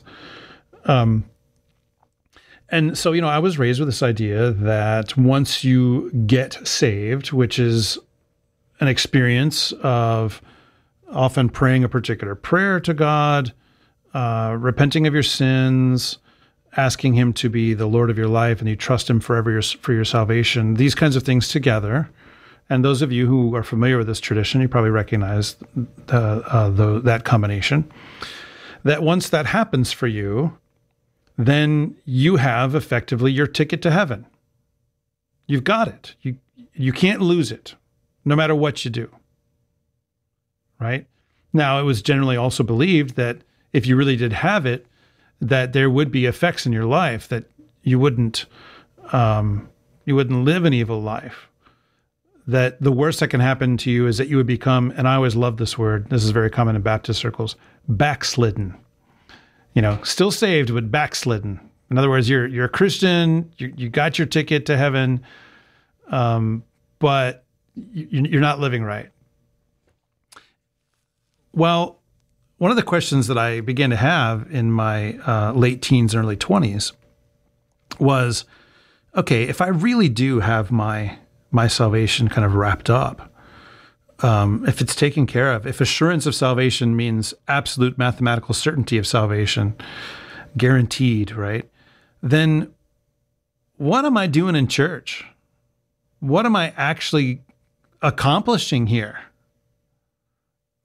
You know, also, why should I uh, behave according to moral strictures? Like, why? Because you know, it's not because I just suddenly had this inner impulse like I want to do evil things. I want to taste the wild side, you know.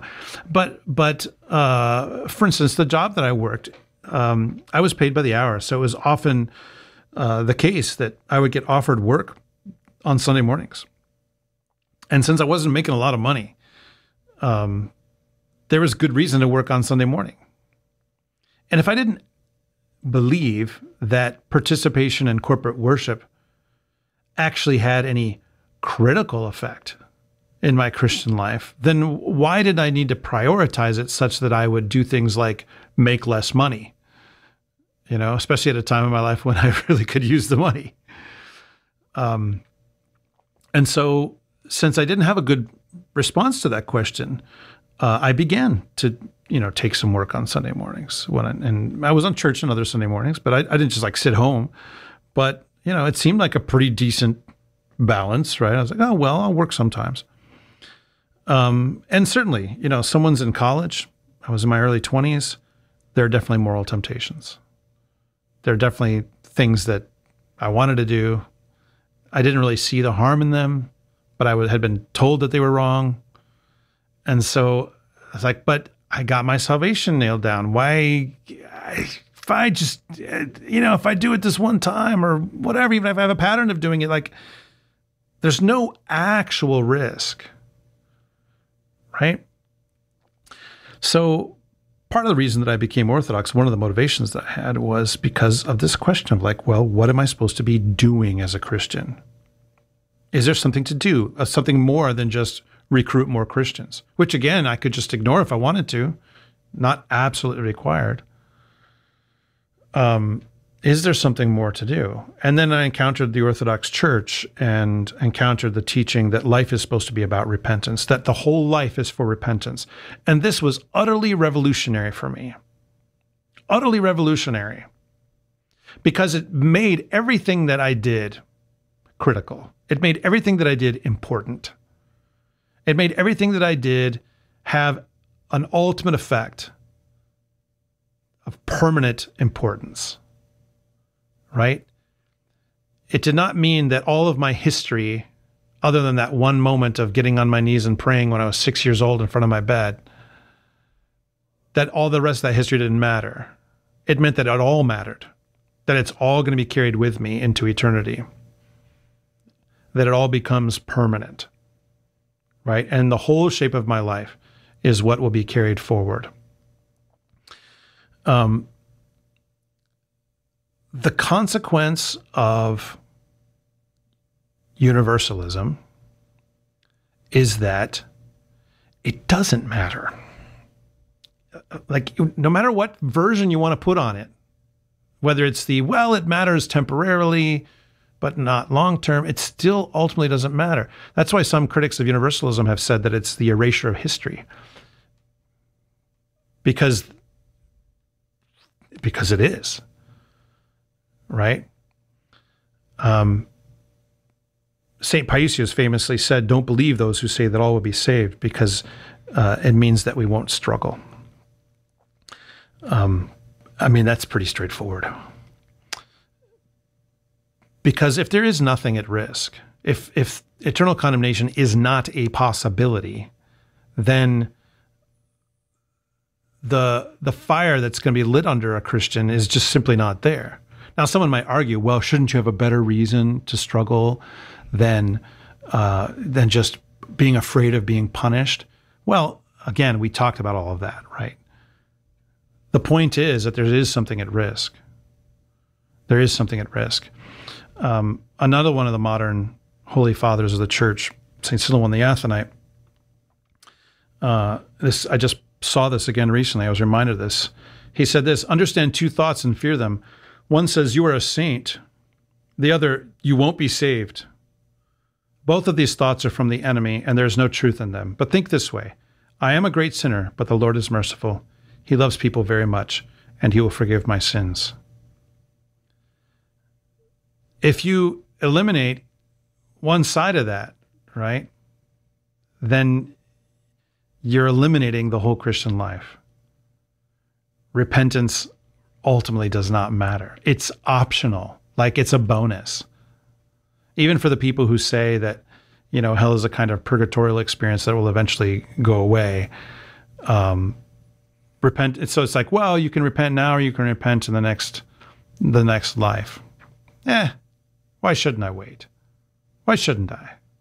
I could have both. I could have my cake and eat it too you know um, so universalism like the calvinist arguments on which it depends eliminates the the very character of repentance and repentance is to change to become more like our lord jesus christ right it's to become more like our lord jesus christ it's not, as we said, it's not about feeling a certain feeling or feeling bad, guilty, or whatever, regretful. It's about becoming more like our Lord Jesus Christ. And so being saved is to become like Christ. Right? So you can't be saved without repentance. That's like saying, I want to, you know, get wet without any water. Like it's, it's not a not a thing. It's, it's not a thing. You can't get wet without water. You can't be saved without repentance because repentance is the process of being saved. Salvation is not a status that you receive at the end. It is becoming more like Christ. It is this elevation to become, as the Lord says, equal to the angels. Right? So, you know, as, as Father Stephen said, we, we don't know. We don't know how many or if any actually will be eternally condemned. And God forbid, like I find it really reprehensible sometimes when certain people say that if you believe in eternal condemnation, as it's laid out in the scripture and church fathers and so forth, that means you like the idea of being people suffering. Excuse me. False. Utterly false. Right? The fact that I believe that frightening things are true does not mean I want them to be true. Right? Uh, something is true whether or not I want it to be true. That's part of why it's true. You know? Um, but the whole Christian life, it's not that it's about trying to avoid eternal condemnation, right? But that is one of the things that's included in the broad, comprehensive, uh, complicated, and endlessly fascinating image that the scriptures and the whole Orthodox tradition present in order to for us to fix our eyes on Christ and to press forward to the prize of the high calling of God, as the Apostle Paul said. Maybe you don't need to think about eternal condemnation in order to um, to do that. But you know, some of the saints who are the holiest people, like the holiest people who really knew God and really loved Him, that was part of their toolkit of salvation. If St. Paisius uses that as part of his toolkit of salvation, then who am I to think that I don't need that? You know, I'm nobody. I'm nothing like him in terms of sanctity. And so if he needs it, then how much more do I need it? And it's not because I want to dwell on darkness and gnashing of teeth and lake of fire or whatever, but it's, I need to know that there's this boundary that exists there. There's a boundary. And unless I keep vigilant, I could be potentially tossed over it. Father?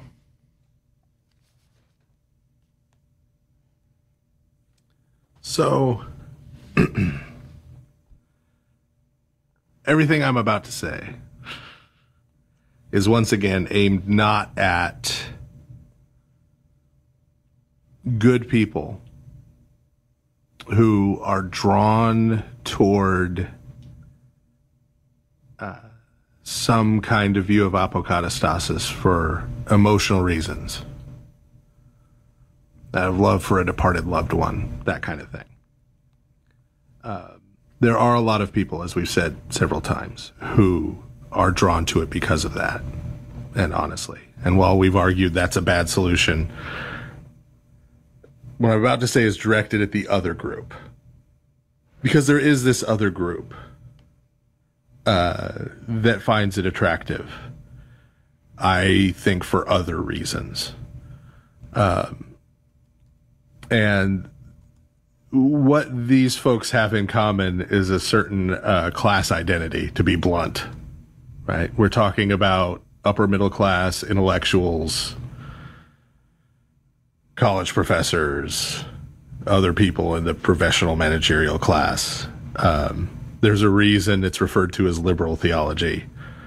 Um, and this and it's not just that like oh those people are libs and therefore they believe liberal theology. It's it's much deeper than that right? So liberalism proper uh, brings about and grows through the bourgeois revolutions of the 18th and 19th centuries right? Where starting in the US and France the mercantile class seized political power through violence from the feudal nobility.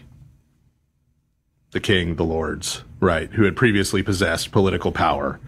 Uh, the newly expanding mercantile class had money. They seized political power through revolution. They became the new governors and rulers of the territory. Um, and with their newfound political power, were not per se inclined to the same sense of obligation before God that their feudal predecessors had been. Because in addition to not accepting the hierarchical ordering of the world in feudal monarchy, they also didn't accept the hierarchical ordering of the world religiously within the church. This is why the French Revolution, they go after the Roman Catholic Church this is why Roman Catholicism was so very unpopular throughout U.S. history. Uh, Orthodoxy too, by the way, though to a lesser extent because we were a smaller presence. But go look at the history of the Greek community in Toronto, in Canada, uh, for examples of how they faced the same kinds of persecutions that that Roman Catholics did in the United States. Um, that was sort of rejected, and so that class of people wanted authority not only in the realm of politics, but also in the realm of religion. Uh, and so you get the creation, for example, in the United States in the colonial period of a pastorate that is in parallel with this mercantile class. You have lawyers, you have physicians, you have pastors and parsons, right? And and these are the the influencers of society. And again, because they now receive this religious authority too, one might expect that in the same way a feudal lord had certain obligations that they viewed as imposed by God on them morally toward the peasants who worked their lands, right? You might expect that the new sort of nobility uh, might feel those same obligations. Or that because they now had this religious authority, they might feel the same obligations that bishops did to care for the poor uh, and and those who were under their authority, and frankly, the whole current of philosophy and theology at the time ran in the opposite direction, ran in the direction of justifying why there is no such responsibility. Why the person who has worked hard and earned his position of power and authority has no obligation to those uh, beneath him in terms of the class structure because those people are beneath him because they are reprobate, they are less virtuous, uh, and if they are virtuous, they will inevitably arrive uh, at their own station. Um, this is just a constant current right in in intellectual history and this grasping of universalism by this university intellectual class um, among uh, the uh, upper middle and lower upper class in the United States and Europe is part and parcel of this, right? Because what ultimate function does it have for them? Right? We talked about the other group of people where this is functioning to give them consolation in the face of someone they've lost. For these other people, for these intellectuals, this is doing something different. This is justifying them not caring about the poor. This is justifying them not caring or doing anything about injustice in the world. This is serving the function of justifying them doing nothing to try to evangelize anyone. This is used uh, to justify uh, them not having any responsibility to investigate their own religious beliefs very deeply, and definitely never have to make any sharp distinctions that might make things awkward at a dinner party. Uh, this is functionally a sort of neo Pharisaism.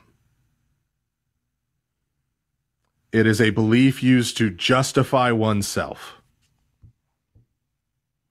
to identify oneself as one of the open-minded, right? One of one of the the elite, uh, to represent. I am above those sort of lower class proles who believe in things like hell, who believe all of these fables. And believing in Plato's God helps them a lot because Plato's God is a God of aristocratic rationalism. Right. So, and I'm not just saying this as an attack on them. I'm saying this because, in the same way that we say to those folks who have grasped onto this because they need it for consolation, the church provides you with a means of having consolation that doesn't come with all the costs associated with with latching onto this this deviant view, apokatastasis. Right. In the same way, we need to, because we love our brothers and sisters from that other group, from that intellectual group, right? From that upper class group. We love them too. And that means we need to call them to repentance and faith too. We need to call on them to see, cease trying to justify themselves cease trying to justify the way of life they've become addicted to. Uh, call on them to get rid of the false idol of their own self perception as, as one of the elite, one of the knowledgeable, one of the intelligent, to abandon those things and come and come to repentance. So there are going to be a bunch of people who listen to what I said in the third half uh, and say, "Oh, there he he's a hater. He's a DBH hater. He hates David Bentley Hart. He hates these people." Uh, I do not. I want David Bentley Hart to repent and draw close to Christ. I want him to repent of a lot of the things he said. Meaning, I want him to sort of repair the damage. I want him to draw closer to Christ. I want him to live a Christian life. I want him to become a saint. Right? That's what I want. But that means right now, with what he's doing now and teaching now and promoting now, I have to oppose him. And this is the truth for us all the time in our Christian lives.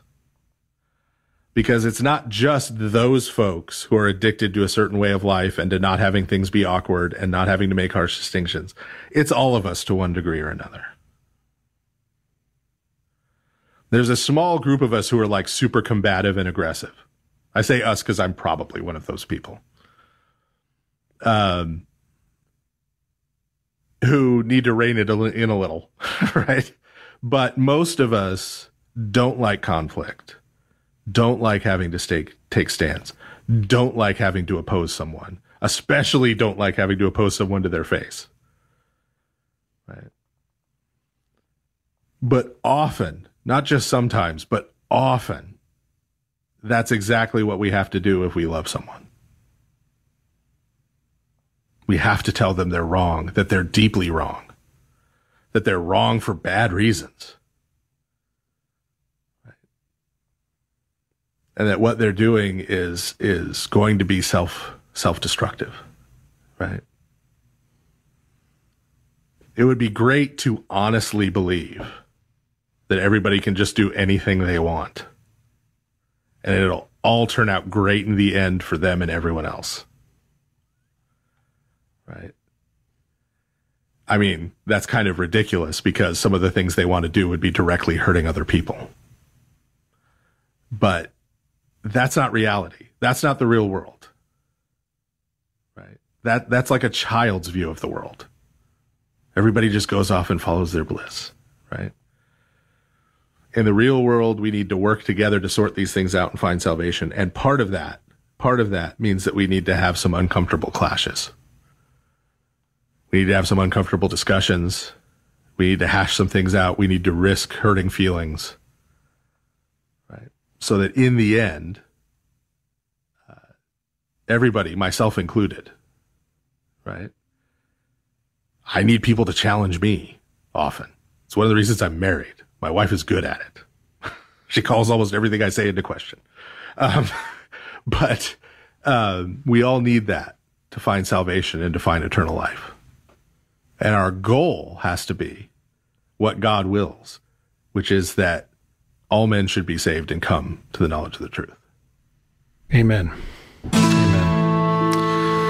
Well, that is our show for uh, for tonight. Uh, next time, I think, should be our third anniversary show. That'll be fun. Thank you very much for listening, everyone.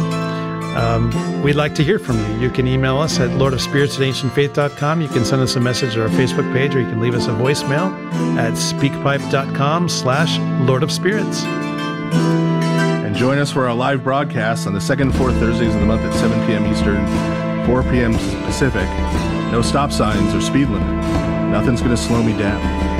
And if you are on Facebook, unlike Father Stephen, who actually lurks through his wife's account, uh, you can follow our page. You can also join our discussion group. You can leave reviews and ratings everywhere, but most importantly, share this show with a friend whom you know is going to love it, and even those who will hate listen to it. And finally, be sure to go to ancientfaith.com stroke support and help make sure we and lots of other AFR podcasters stay on the air. Like a wheel, gonna spin it. Nobody's gonna mess me around. Thank you. Good night. And and may God bless you all. You've been listening to The Lord of Spirits with Orthodox Christian priests Father Andrew Stephen Damick and Father Stephen DeYoung, a listener supported presentation of Ancient Faith Radio. And I beheld, and I heard the voice of many angels round about the throne, and the beasts, and the elders, and the number of them was ten thousand times ten thousand, and thousands of thousands, saying with a loud voice, Worthy is the Lamb that was slain to receive power, and riches, and wisdom, and strength, and honor, and glory, and blessing. Revelation chapter 5, verses 11 through 12.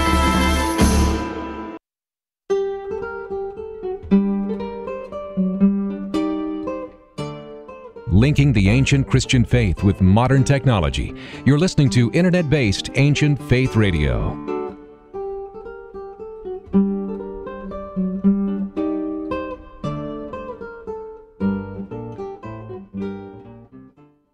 But one thing is needed, and Mary has chosen that good part which will not be taken away from her.